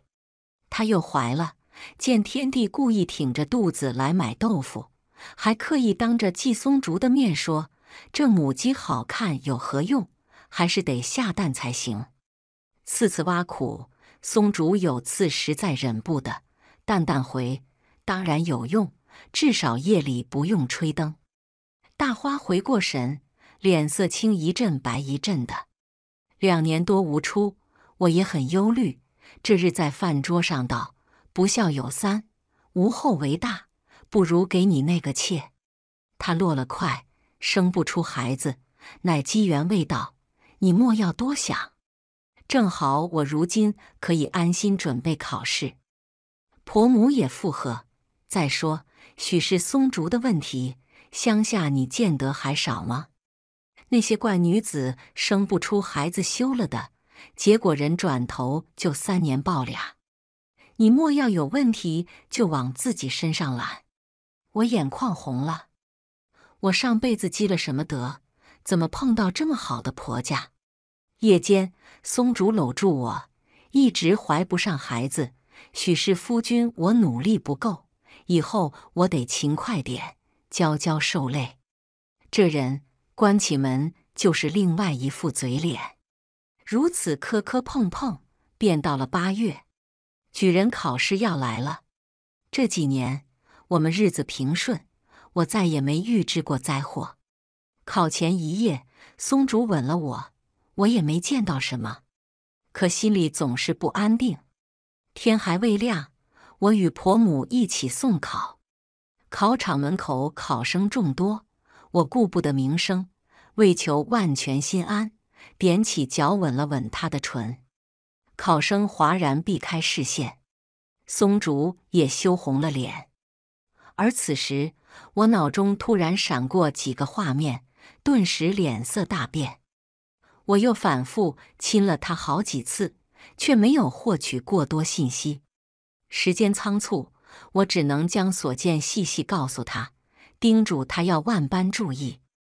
因着考前亲亲，大失体统，一时间名声传遍了同窗，许多人背地里讥笑我乡野出身，不知分寸。因为有周礼的事在前，这几年松竹韬光养晦，表现的并不出彩。众人议论有我这样缠人不懂事的妻。他又资质寻常，恐怕是难有所成。大花又生了个儿子，刚出了月子就来找我炫耀。季秀才真是倒了八辈子霉才娶了你，你是不是怕他考上举人会抛下你这个农家女，所以才故意乱他心神？他叹着气，肉脸挤成一团。如今我看你是要如愿做一辈子秀才娘子了。也有人聚在豆腐摊前，对着我指指点点。瞧，就是他，夫君赶考，他当着那么多人的面就去亲，真是不知羞。摊上这样的妻，还怎么考得上？你们可要引以为戒，千万不能像他这样。松竹考完试后，日日陪着我出摊，众人议论不止，扼腕叹息。他倒是神色如常。如此半月，乡试放榜了，上了榜就是举人，以后就是官老爷。天未亮，我们就起了。可有人比我们更早。榜前人山人海，快到午时，张榜官总算是来了。众人纷纷伸长脖子，偌大的场子，鸦雀无声。我的心也提到了嗓子眼。榜一贴。人群喧哗起来，中了，我中了，又没中，又没中，我已经考了十回了。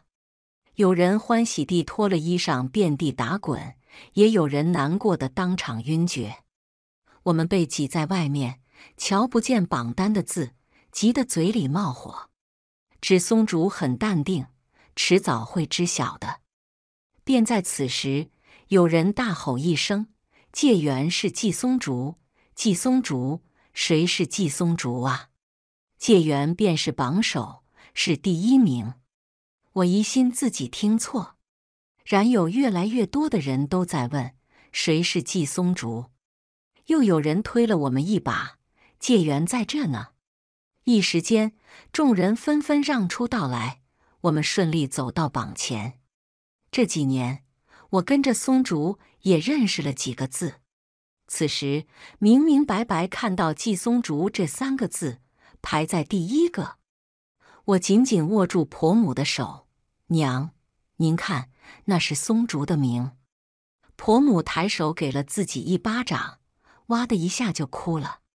娇娇儿，我这不是做梦吧？我们两个俱是眼泪汪汪看向松竹，他眼眸里也有了诗意。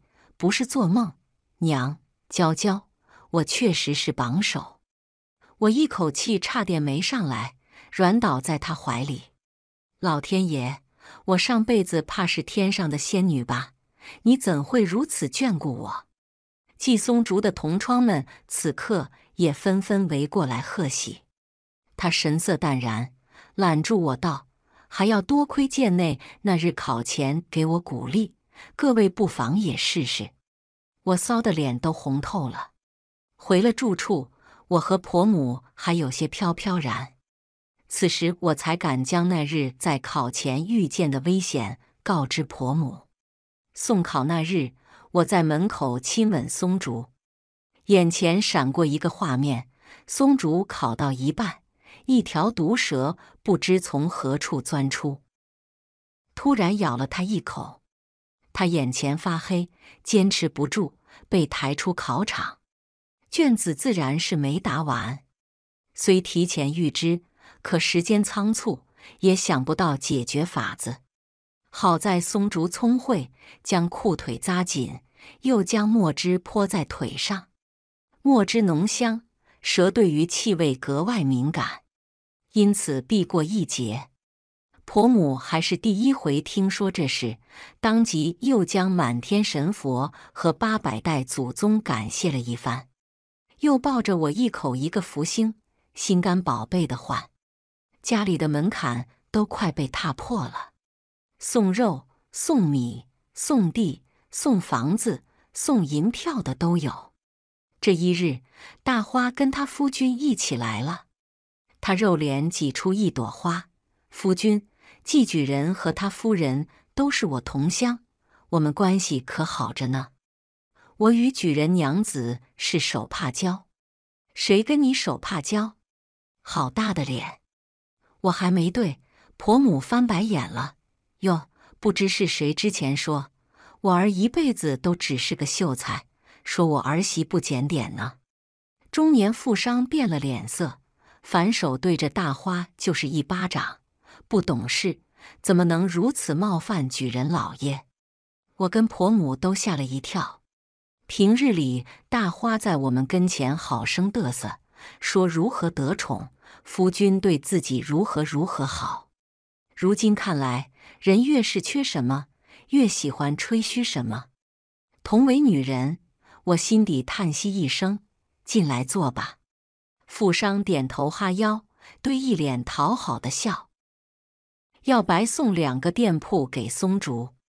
他说这些时，大花眼底闪过不甘。最后来回拉扯，松竹什么都没收，客客气气将人送走。到了门口。大花落后几步，咬牙切齿地说：“这个举人娘子本是我的，那些店铺也该是我儿的。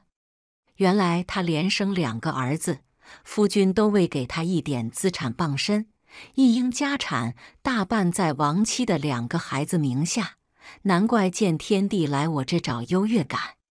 都说衣锦还乡，此番中了举人，还是借缘。”自然是要回一趟村里，城里的事情打点的差不多，我们便收拾东西回了乡。一路颠簸，又应付村里来贺喜的老少。第二日想睡个懒觉，又被母亲吵醒。他与父亲带着一双弟弟上门了。牛儿念了两年多的书，如今已有模样；虎儿生就一副奸凶相。但也比前几年要懂事许多。这一次倒不是空手登门，母亲拎着一大袋莲子，都是特意挑的嫩莲子。娇娇，你不是爱吃吗？他已许多年没有唤过我娇娇了。嫩莲子寡淡无味，我哪里是爱吃呢？是从前在家时，饱满的莲子都是弟弟的，没有我的份。只有这种瘪瘪的，我才能讨上几粒。今时不同往日，我把从城里买来的银簪子递给他，他有点失望，不是金的呀。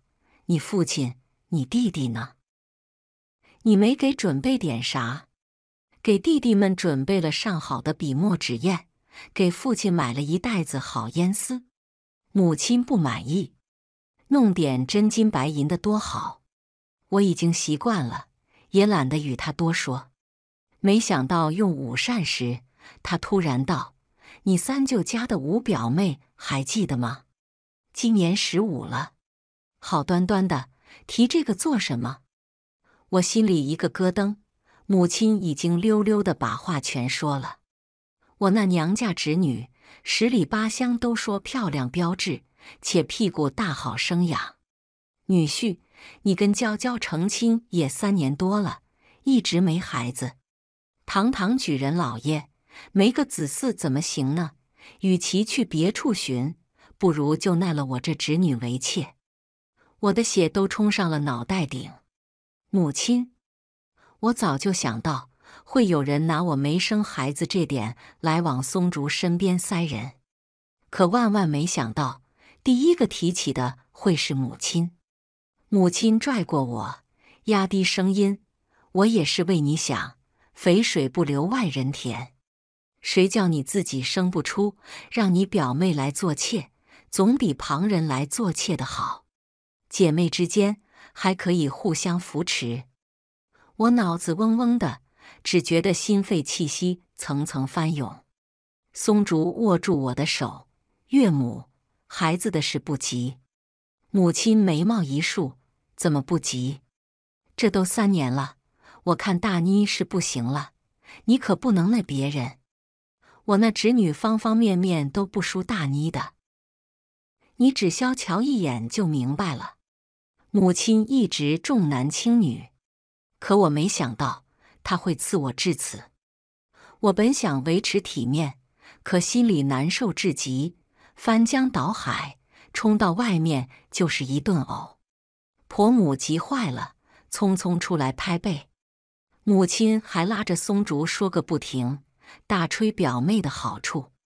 松竹忍耐不住，一把甩开他，扬声道：“岳母，您没瞧见娇娇多难受吗？”到底谁才是您亲女儿？母亲脸色讪讪。松竹踏步出了庭院。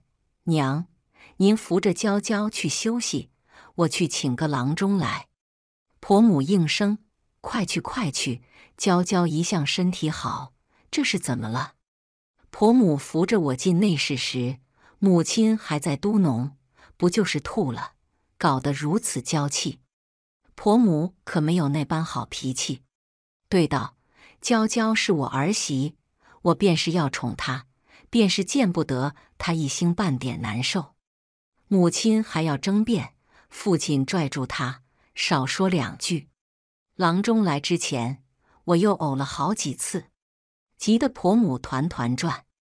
郎中帮我把了很长时间的脉，一向淡然的松竹急得连连发问：“如何？可严重？”郎中松了手，眉眼舒展，恭喜举人老爷夫人，这是有喜了。松竹定住，婆母亦是目瞪口呆。屋子里安静良久，婆母猛地一拍大腿，哈哈大笑：“有喜！我要当祖母了，我要当祖母了！”松竹，亲家母，我要当祖母了。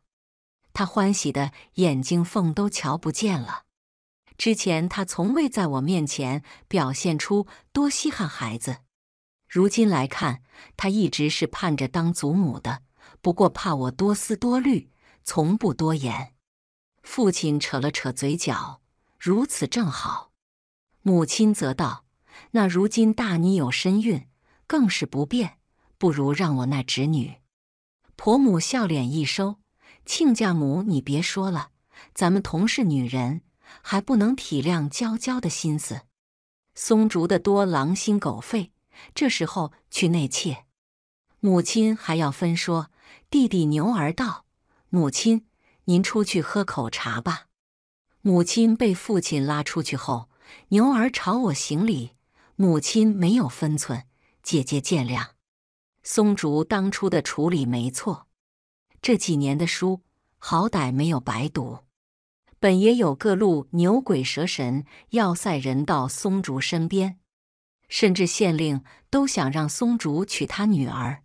如今我有了身孕，他们便没了合适的理由，而松竹也有了好的借口。夫人与我风雨同舟，此时她有身孕，我若内妾，那圣贤书便白读了。婆母日日乐呵呵，娇娇，我当初一瞧你就是个有福气的。你看我这宝贝孙子，早不来晚不来，偏偏这时候来，那就是你的护身符。母亲却私下里说：“我这里有个一举得男的方子，你照着吃。”我皱眉，夫君和婆母说是男是女都可。放屁，自然是要生个儿子好。女儿都是赔钱货，他絮絮叨叨。我看向窗外，云那么蓝，天那么高。若是生个女儿，希望她能继承夫君的美貌与聪慧。中举之后，各路奉承的话几乎把我耳膜都磨破了。人人都道我好运气，嫁给松竹这样的好夫君。松竹却不止一次说：“当初我克妻，又屡试不中，多亏夫人不嫌弃，不然也没有我的今日。”一时间，全县都知道我助夫君转运，婆娘们没事就来我身边蹭蹭摸摸。本家的姑娘出嫁前，也请我帮他们梳头，盼着能得一份我与松竹这般恩爱的姻缘。松竹年岁渐长，越发沉稳挺拔，像是被岁月打磨的温润的好玉。我时常恍惚：这样好的夫君，真是我朱娇娇的吗？当初点了他秀才的林老，如今年事已高，已经致仕。松竹的举人答谢宴，暗例也给他送了请帖，没想到他还真的赏光了。不止如此，宴后他单独留下，递给松竹一封信。国子监祭酒当初与老朽师出同门，后又一起教导长公主的郡主和郡王，你拿着这封信去见他，想必他会给老朽一些薄面，收你入学。松竹很震惊又意外，学生何德何能，受先生如此青睐？国子监是整个大楚的最高学府，全国举人多如繁星，可不是人人都有机会进去学习。林老长叹一声：“老朽看过你从前的考卷，文采斐然啊！是老朽这毛病误你多年，心中有愧。”松竹深深拜下，万般皆是天意。若无那些年磨练心性，学生恐也是少年意气，过刚易折。林老赞誉地拍拍他的肩膀，说的不错。苦难与磨练，亦是往后你仕途的底气。只盼你金榜高中，为国为民，莫要负了这一腔才华。林老的意思是让他尽快上路去京城。一来，越往北边天越寒，再过些日子路就不好走了；二来，国子监汇聚天下人才，早些去也可早些受益；三来，京城水深，早早的去摸清楚，对于三年后的科考有好处。松竹却想等我生下孩儿再去，我急了，这如何使得？孩子太小。也不宜颠簸。若是等到半岁以后再出发，要搓磨多少时光？我的身体使得，万万不可耽误夫君前途。本该留在乡里等他消息，可若是那般，就无法预知他的凶险，叫人如何放心？我反复瞧了三个老大夫，都说我身体底子好，若说多加注意，应不会有差池。如此，松竹才松口。他从族里挑了个会赶车又机灵可靠的小子做小厮。九月初，枫叶染上薄薄的红，我们一家也出发了。全村的人都来送行。母亲拉着我的手：“你家那田地，怎地还分出一半给旁人，就不能全给我们种吗？”牛儿朝我行礼：“长姐一路顺风。”勿要担忧家里，弟弟会在家好生照顾父母兄长。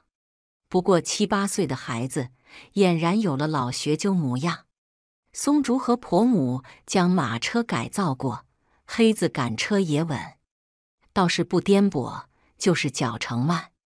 出了州里，一路往北，天气便越发寒凉。九月底的天，竟然飘了细碎的雪。老树的叶子已经掉光，阳光照不出的暗处有融化不了的积雪。十月底，总算是到了京城脚下。我们到城外时是傍晚时分，我拖着微微隆起的肚子，被松竹扶着下了马车。夕阳金灿灿，落在高大厚重的城墙之上，整个京城宛若是浑厚的巨兽盘踞在眼前。想不到我朱娇娇有生之年还有如此见识。林老在京都有座老宅，位于朱雀街上，只有老仆看守。他大约早就另写信叮嘱过我们到时，老仆早已收拾妥当。松竹第二日拿着引荐信去了国子监，果然顺利入学了。一家人在老仆带路下，花了好几日，将京都上下逛了一圈。不得不感慨国都繁华，街上卖糖葫芦的大爷穿的衣服，用的都是乡里里正过年新衫同样的布料。州里流行的那些胭脂水粉。在这里都被摆在最不起眼的地方，因为是前两年的款，布装的好些料子，一匹卖的钱就够乡下一家子吃一年。路上随意见到的，可能都是惹不起的贵人。一辆不起眼的马车里做的都是皇亲国戚。松竹这样的举人，在乡里万里挑一，放在此处，便也只是小小一朵花。有些美，却也不特别。金玉这些我都不敢多瞧，只有次见到一只层层叠叠的桂花款式银簪子，喜欢的紧。一看标价三两银子，吓得我扭头就走。结果晚间入睡，松竹从袖中摸出那根簪子，插入我鬓间。白日里见你瞧了许久，娇娇的眼光果然好。这簪子与你相得益彰，这般贵，你真是胡来。既是贵，那便多多戴，戴上个百次千次，算下来就不贵了。如此一说，也有道理。那你可曾给娘买东西？婆母早年丧夫，独自把松竹拉扯大，吃了许多苦，别让他觉得儿子有了媳妇忘了娘。松竹搂我入怀。我都瞧见了，你不是给母亲偷偷买了吗？到时候我便借花献佛。我的私房钱可全买了簪子，你把为夫都掏空了，今晚是不是得好好犒劳一下为夫？这人简直没个正经。红烛帐暖，一夜无话。因着有孕，松竹也不让我劳累。这一日，我去国子监接他，远远见他拿着几张书卷，递给一位华服公子。那公子神色倨傲，说了句话，他身侧的奴仆便上前一步，给了松竹一块碎银。松竹不卑不亢，弯腰行了个礼，再抬头便与我目光相接。他神色一愕。待那公子走后，他匆匆上前抹我的眼泪，哭什么？我不过帮他代笔几句诗，好叫他在世家聚会上不丢颜面，如此便能得一两银，何其轻松！没做什么媚言屈膝之事。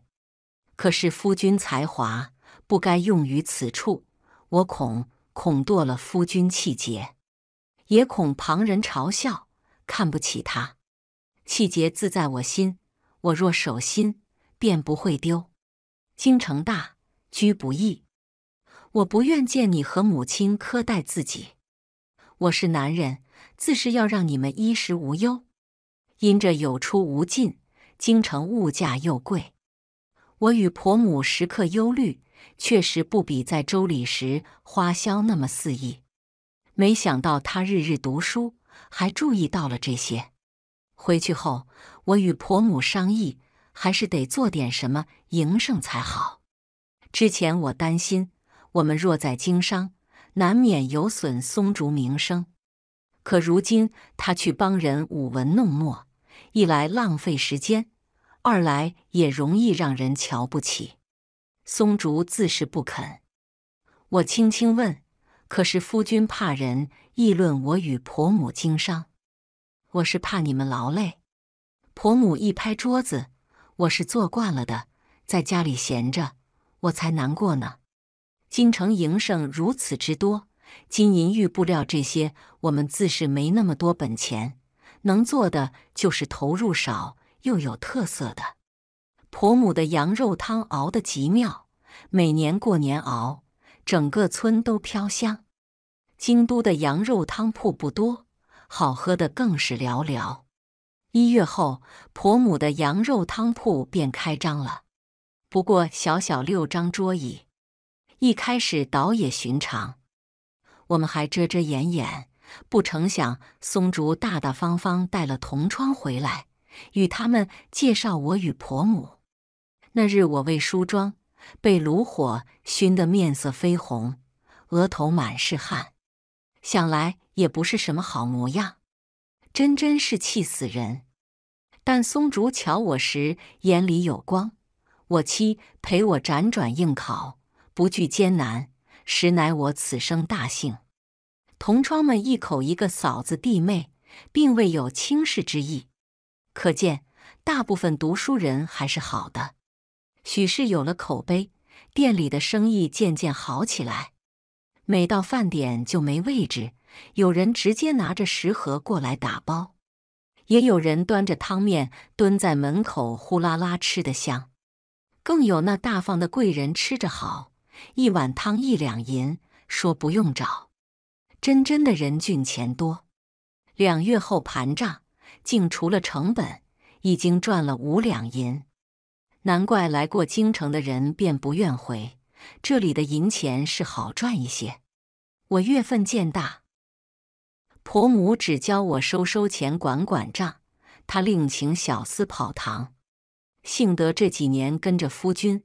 我本大字不识一个，如今却能丝毫无阻的看账本。这一年，我们是在京城过的年，此起彼伏的烟花，延绵一夜的鞭炮，翻滚不息的古董锅。虽人在异乡，但最爱之人已在身侧，亦是团圆好年。翻过年开春，我痛了两天两夜，总算生下了与松竹的长女。她两天未睡，拉着我的手贴在脸上。以后咱不生孩子了，你不想要个儿子？我只要你平安无事。我这两日可是吓坏了。得福如此，还有何求？福儿摇摇晃晃的长大，羊肉汤的生意一直火爆。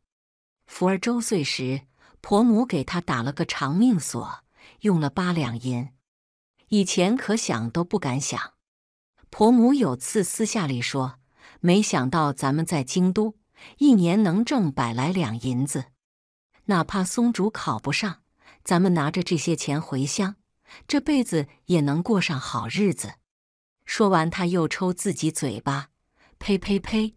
松竹一定考得上。”日子平静顺遂，很快迎来了三年一回的科考。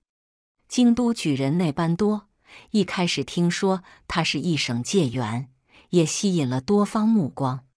然几年过去，他似是资质寻常，我也听得议论说鸡头到了京都，不过是凤尾而已。京都许多高门大户自幼饱读诗书，他们接受的资源便与松竹不同。寒门举子要过科考中进士，已是千难万难；进头甲就更是难如登天。这几年，松竹夙兴夜寐，不曾有过懈怠。其他学子亦是如此。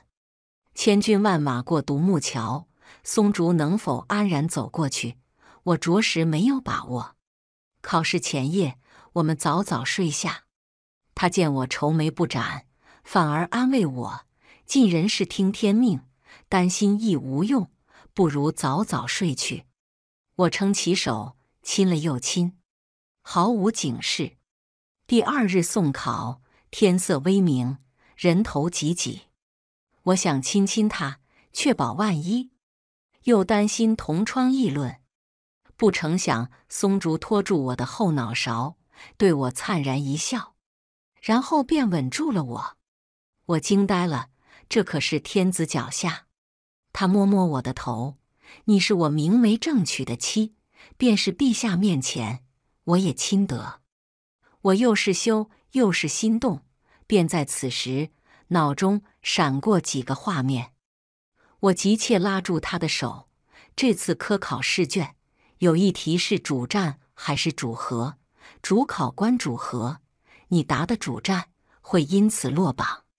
去岁冬，北敌进犯，连下三城，京城也一度进了些流民。天子脚下，消息灵通。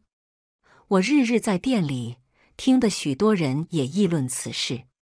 听说陛下有意将长公主幼女柔服郡主送去议和，不过有老臣反对，此事还未有定论。也有坊间消息，主战的官员有好几个被寻了名目贬谪了。如今朝野中主和的居多。松竹神色一崩，我拉住他的衣袖。如今还来得及，一会你入考场时也写主和。他深深凝我，眸光坚定。牺牲女子来换取国安，不过是饮鸩止渴。你曾说怕堕了我的气节，主战便是我的气节，亦是民族气节。他抚着我的脸，无比愧疚。娇娇，对不住，我没法违背良心，我不能改。此番，你怕是当不上进士娘子了。朝霞探头，万丈霞光落于他身。我朝他嫣然一笑，夫妻同心。我敬慕夫君，便是因你始终有自己的坚持。大胆的写，我与婆母都会支持你。他紧紧搂住我，得妻如此，夫复何求？回家后，便与婆母细说此事。婆母叹息良久，不过很快也自我开解。下回再来呗，多大事，一次就中的，本来也没几个。因着知道没法中，心态反而轻松了。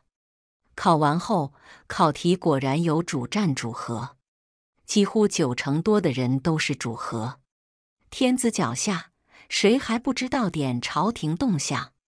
一听松竹写的主战，同窗们嘴上不说，面上均是闪过惋惜。倒是松竹姿态坦然，道：“是我疏忽，一心读书，倒是不知上头风向。”夜间我问他为何撒谎，他摸着我的背，趋利避害，人之本性。好些同窗已经考了四五回。怎能强求他人与我一般？我正我心，我行我道。若有人同道，自是快事，却也不能贬低他人之道。不愧是我夫君，如此豁达。如此到了四月初，该放榜了。我们住的这条街也有许多举子居住。天色还未亮，便有同窗敲门：“季兄，季兄还未起吗？”看榜去了，去的晚，可没有好位置。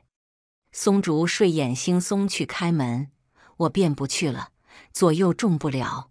李兄快些去，你一定会高中。李林劝了两句，奴仆催促的紧，他便匆匆而去。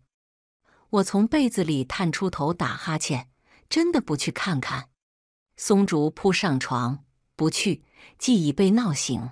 不如好好活动活动筋骨，睡不成了。榜单张贴在礼部衙门，距我们住处还远着呢。日头爬上不久，便听得噼里啪啦的鞭炮声。我用帕子胡乱擦着脸，懒懒地道：“估计是哪家中了，正放炮贺喜呢。”一时又听到锣鼓开道，热闹喧天，声音越发近了。本朝惯例，科举中了贡士的考生都可以参加陛下亲自主持的殿试，所以只要高中就会有报喜官。瞧这架势，名次多半是靠前。莫非是结尾的张举人？前些天他在松竹面前可是好生得意，说此番他做的文章是以前从未有过的水平。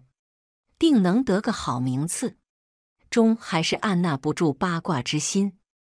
我蓬头垢面的拉开门，福儿还扯着我的衣袖要喝羊奶，便与门口站着的一排红衣衙役来了个面对面。我愣了，他更是怔住，上下打量我一番，又退回去核对了一番门牌，问：“此处可是季会员的家？”啥？我家夫君是姓纪，但不叫。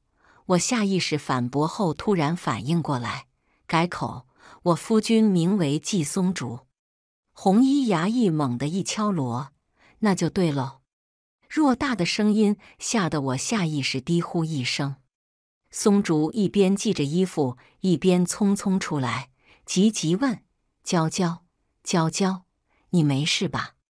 衙役嘴角抽了抽，扬声道：“恭喜季家公子高中会员，小的们给您送喜了。”他话音一落，身后的人噼里啪啦一顿敲，我跟松竹都懵了。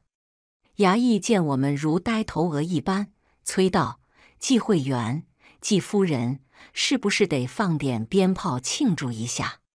对对对，可我没准备啊！谁成想松竹能中，还中了个第一名。好在李林从人群里挤出来，热汗淋漓。我这有，我这有。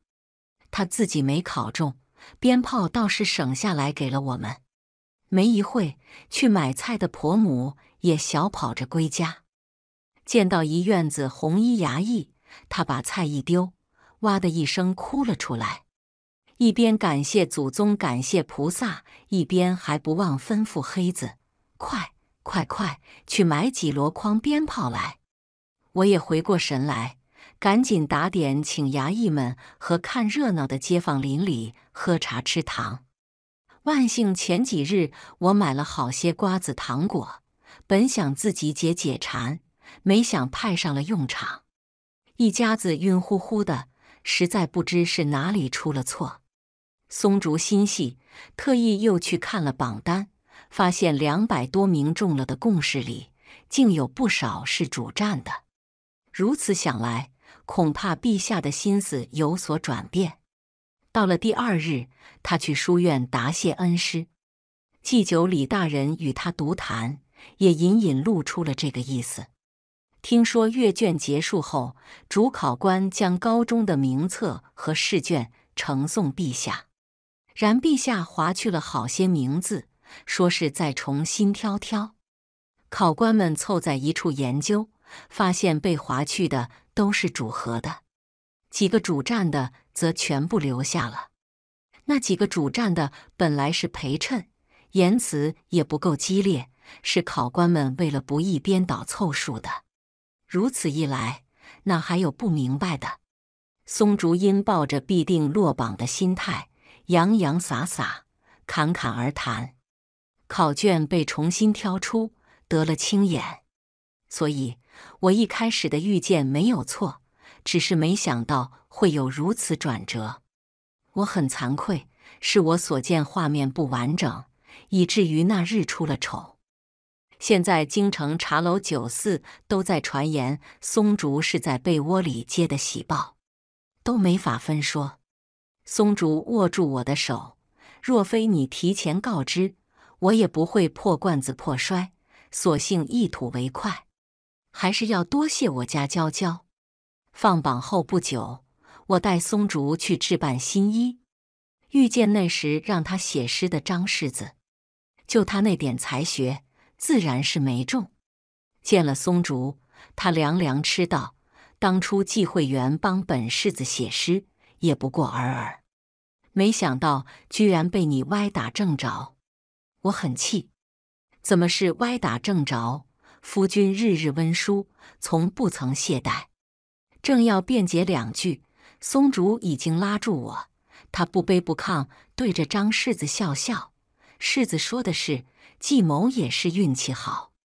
张世子瞪他一眼，道：“你也不用假谦虚，你的文我看了，的确言之有物，慷慨激昂。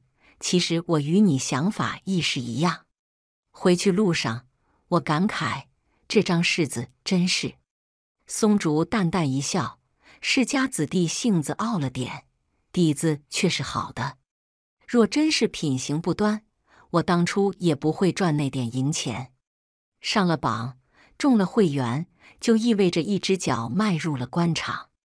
不过现在还不是欢喜的时候，因为四月二十还有陛下亲自主持的殿试。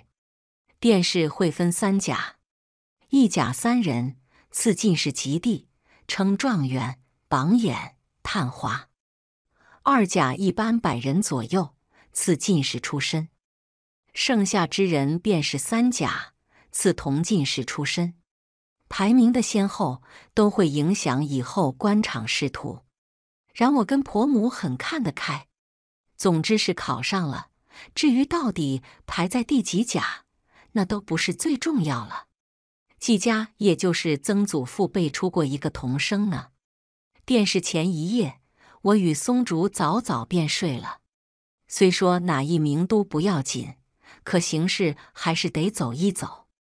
没想到这一亲不要紧，我直接脸色大变。松竹察觉不对，怎么了？可是又见到什么？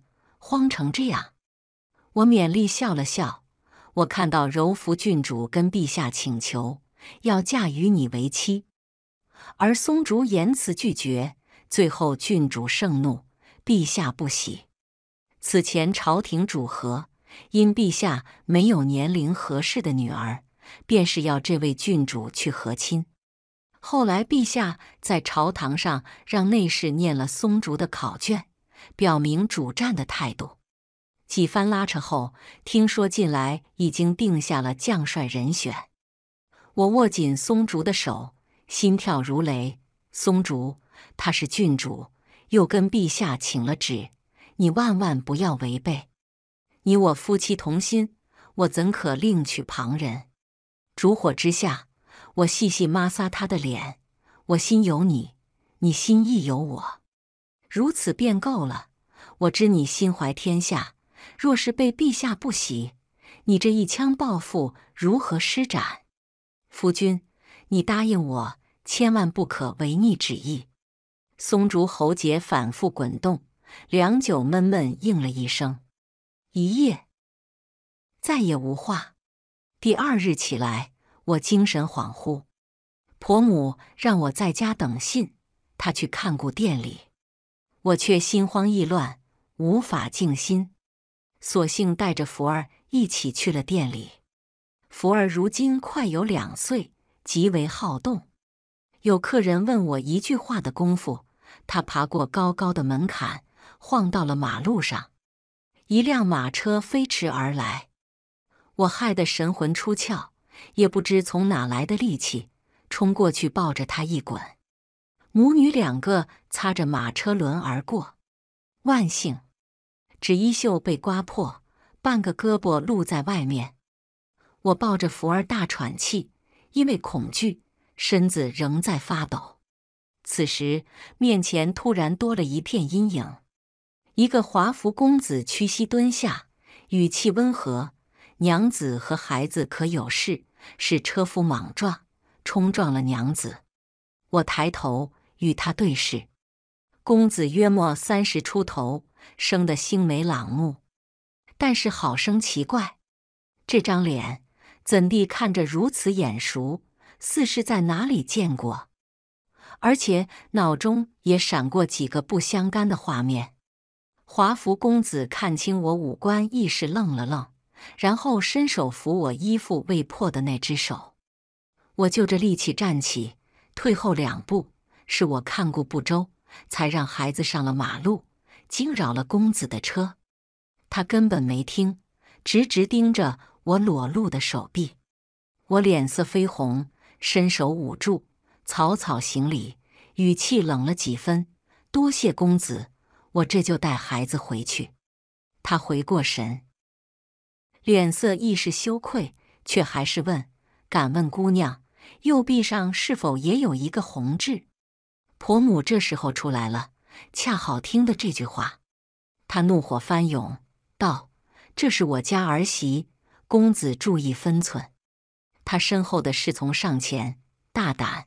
我家殿下可是英郡王，你们怎可如此无礼？”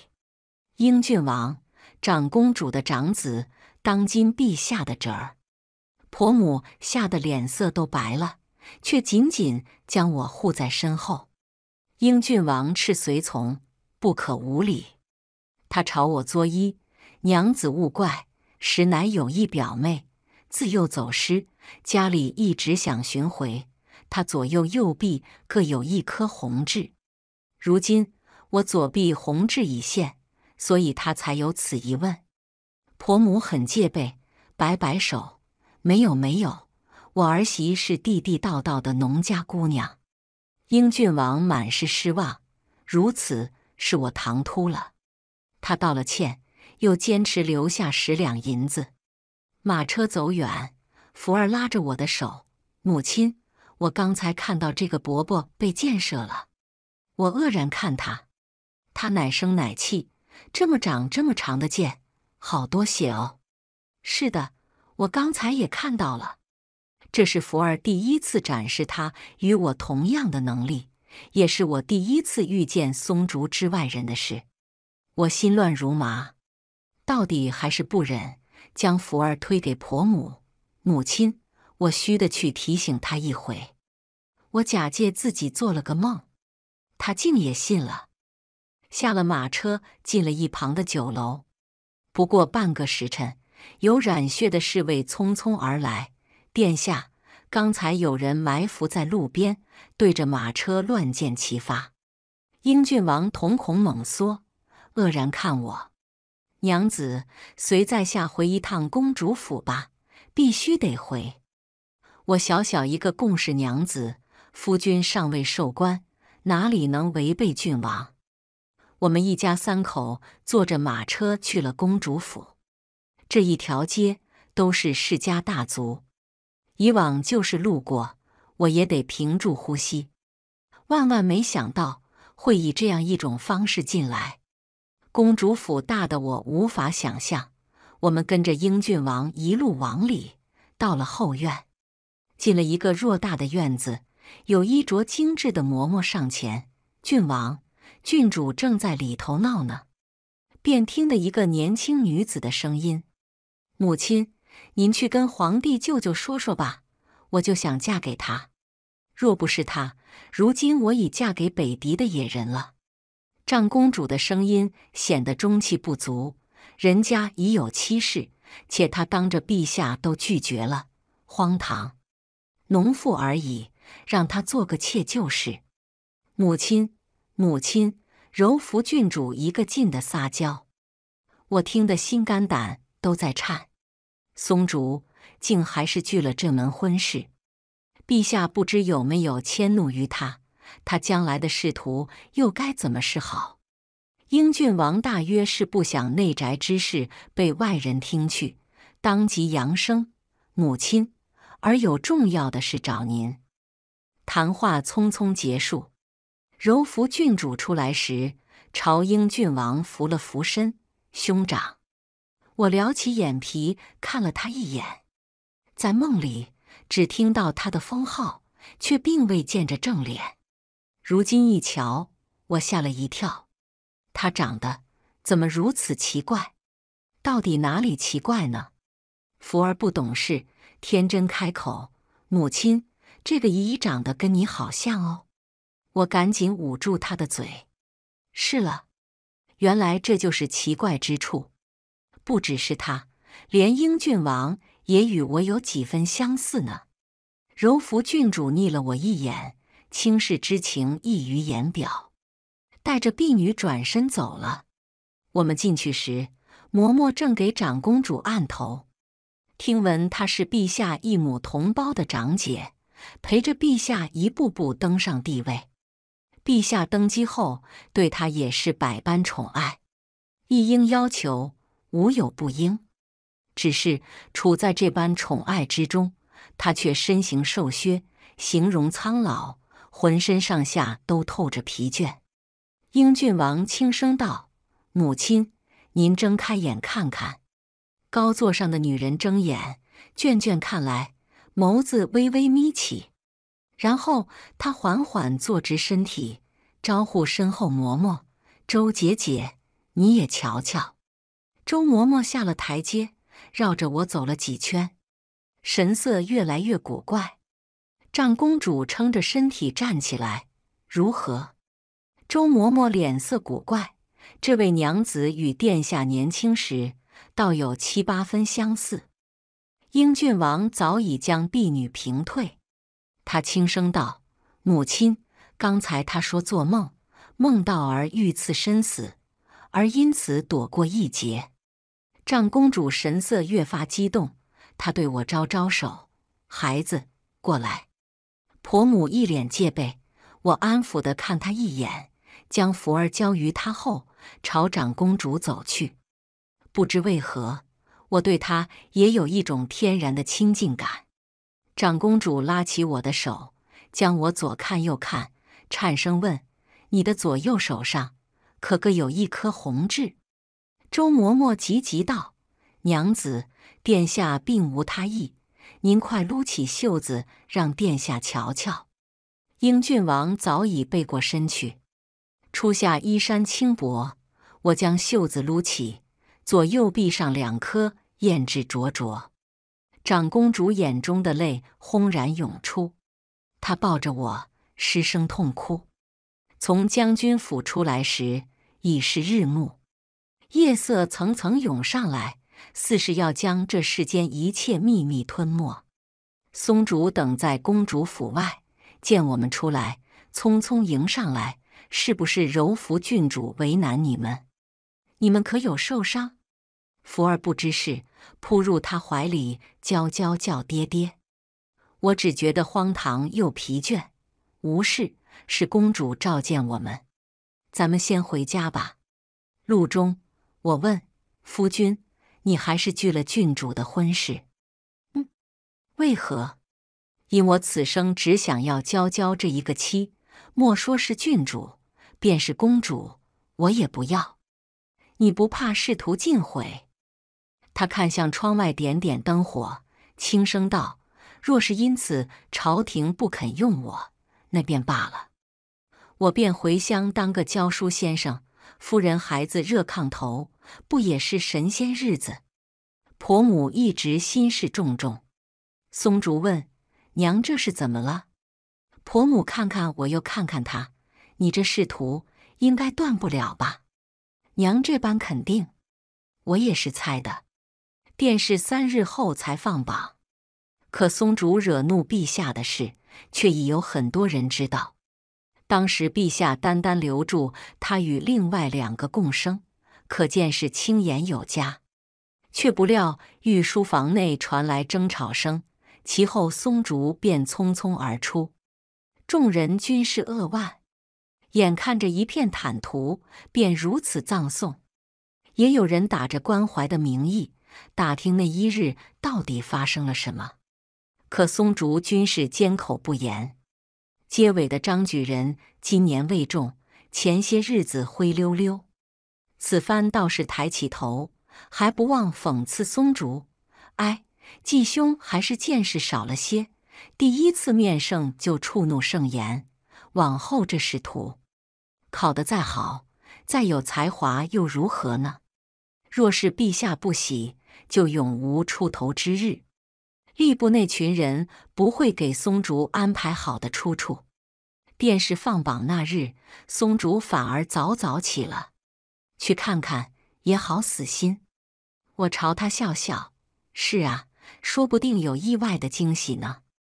不求惊喜，不过有始有终而已。”电视结束，多年苦读就算是画上终点。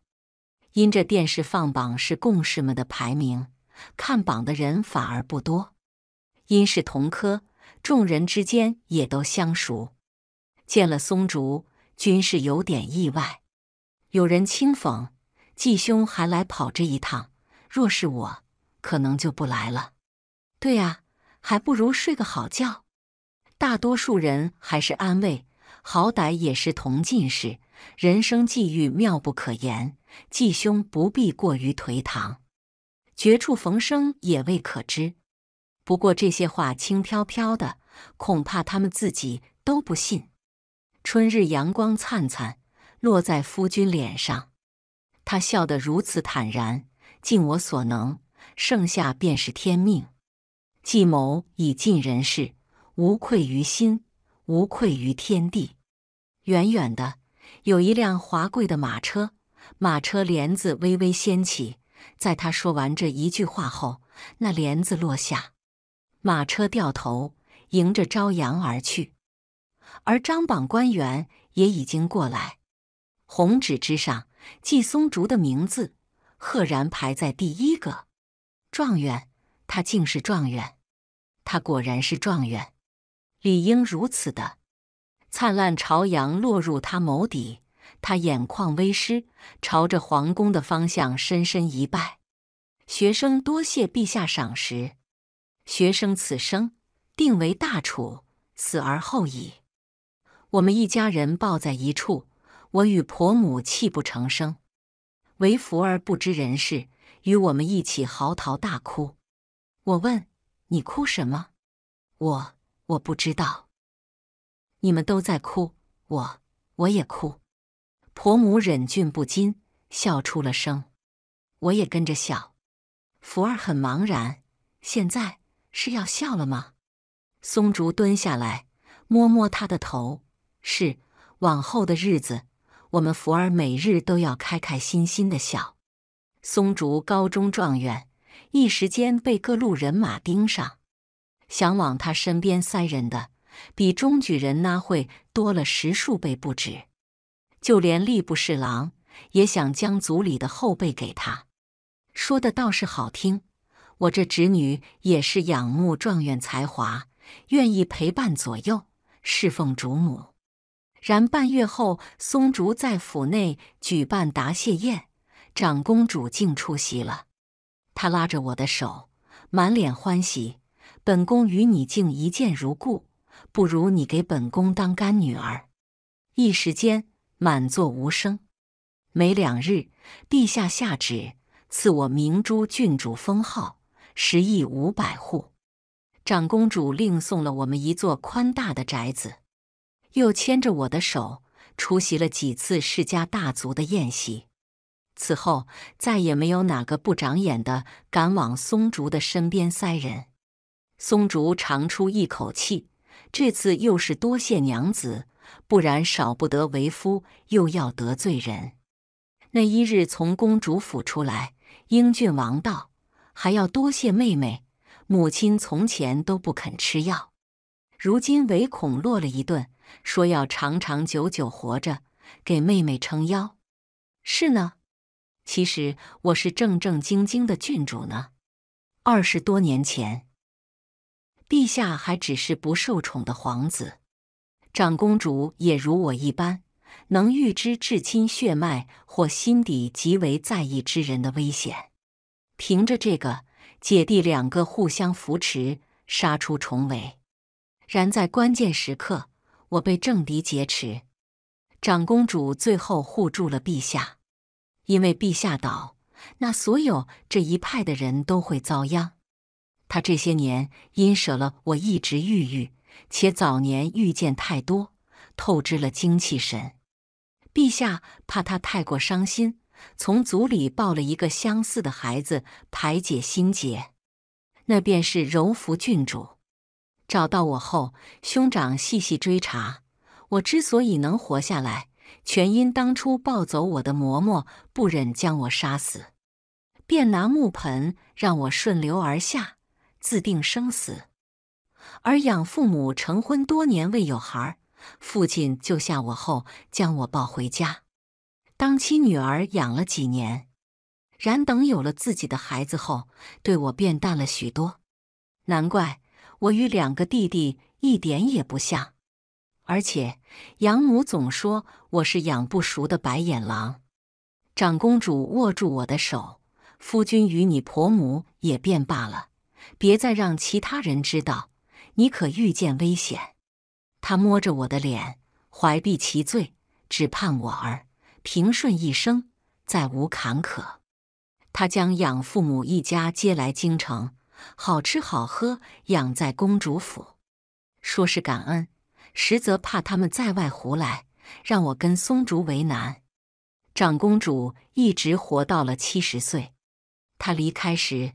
我亦做了外祖母，她躺在床上，在春光里看着我笑。母亲先去替你探探路，等几十年后你再来，依然是母亲的乖女儿。其后三年，松竹出任宰相，我被新皇封了诰命，一品国夫人。松竹牵着我的手，共同拜谢陛下恩赐。秋光正好，他眼角已有密密皱纹。他搂着我的肩，娇娇，来生也要嫁与为夫，为夫定托生的好些，不再让我的娇娇受半点苦。哪里苦呢？遇见他之后，我每一天，我的日子都是甜的呢。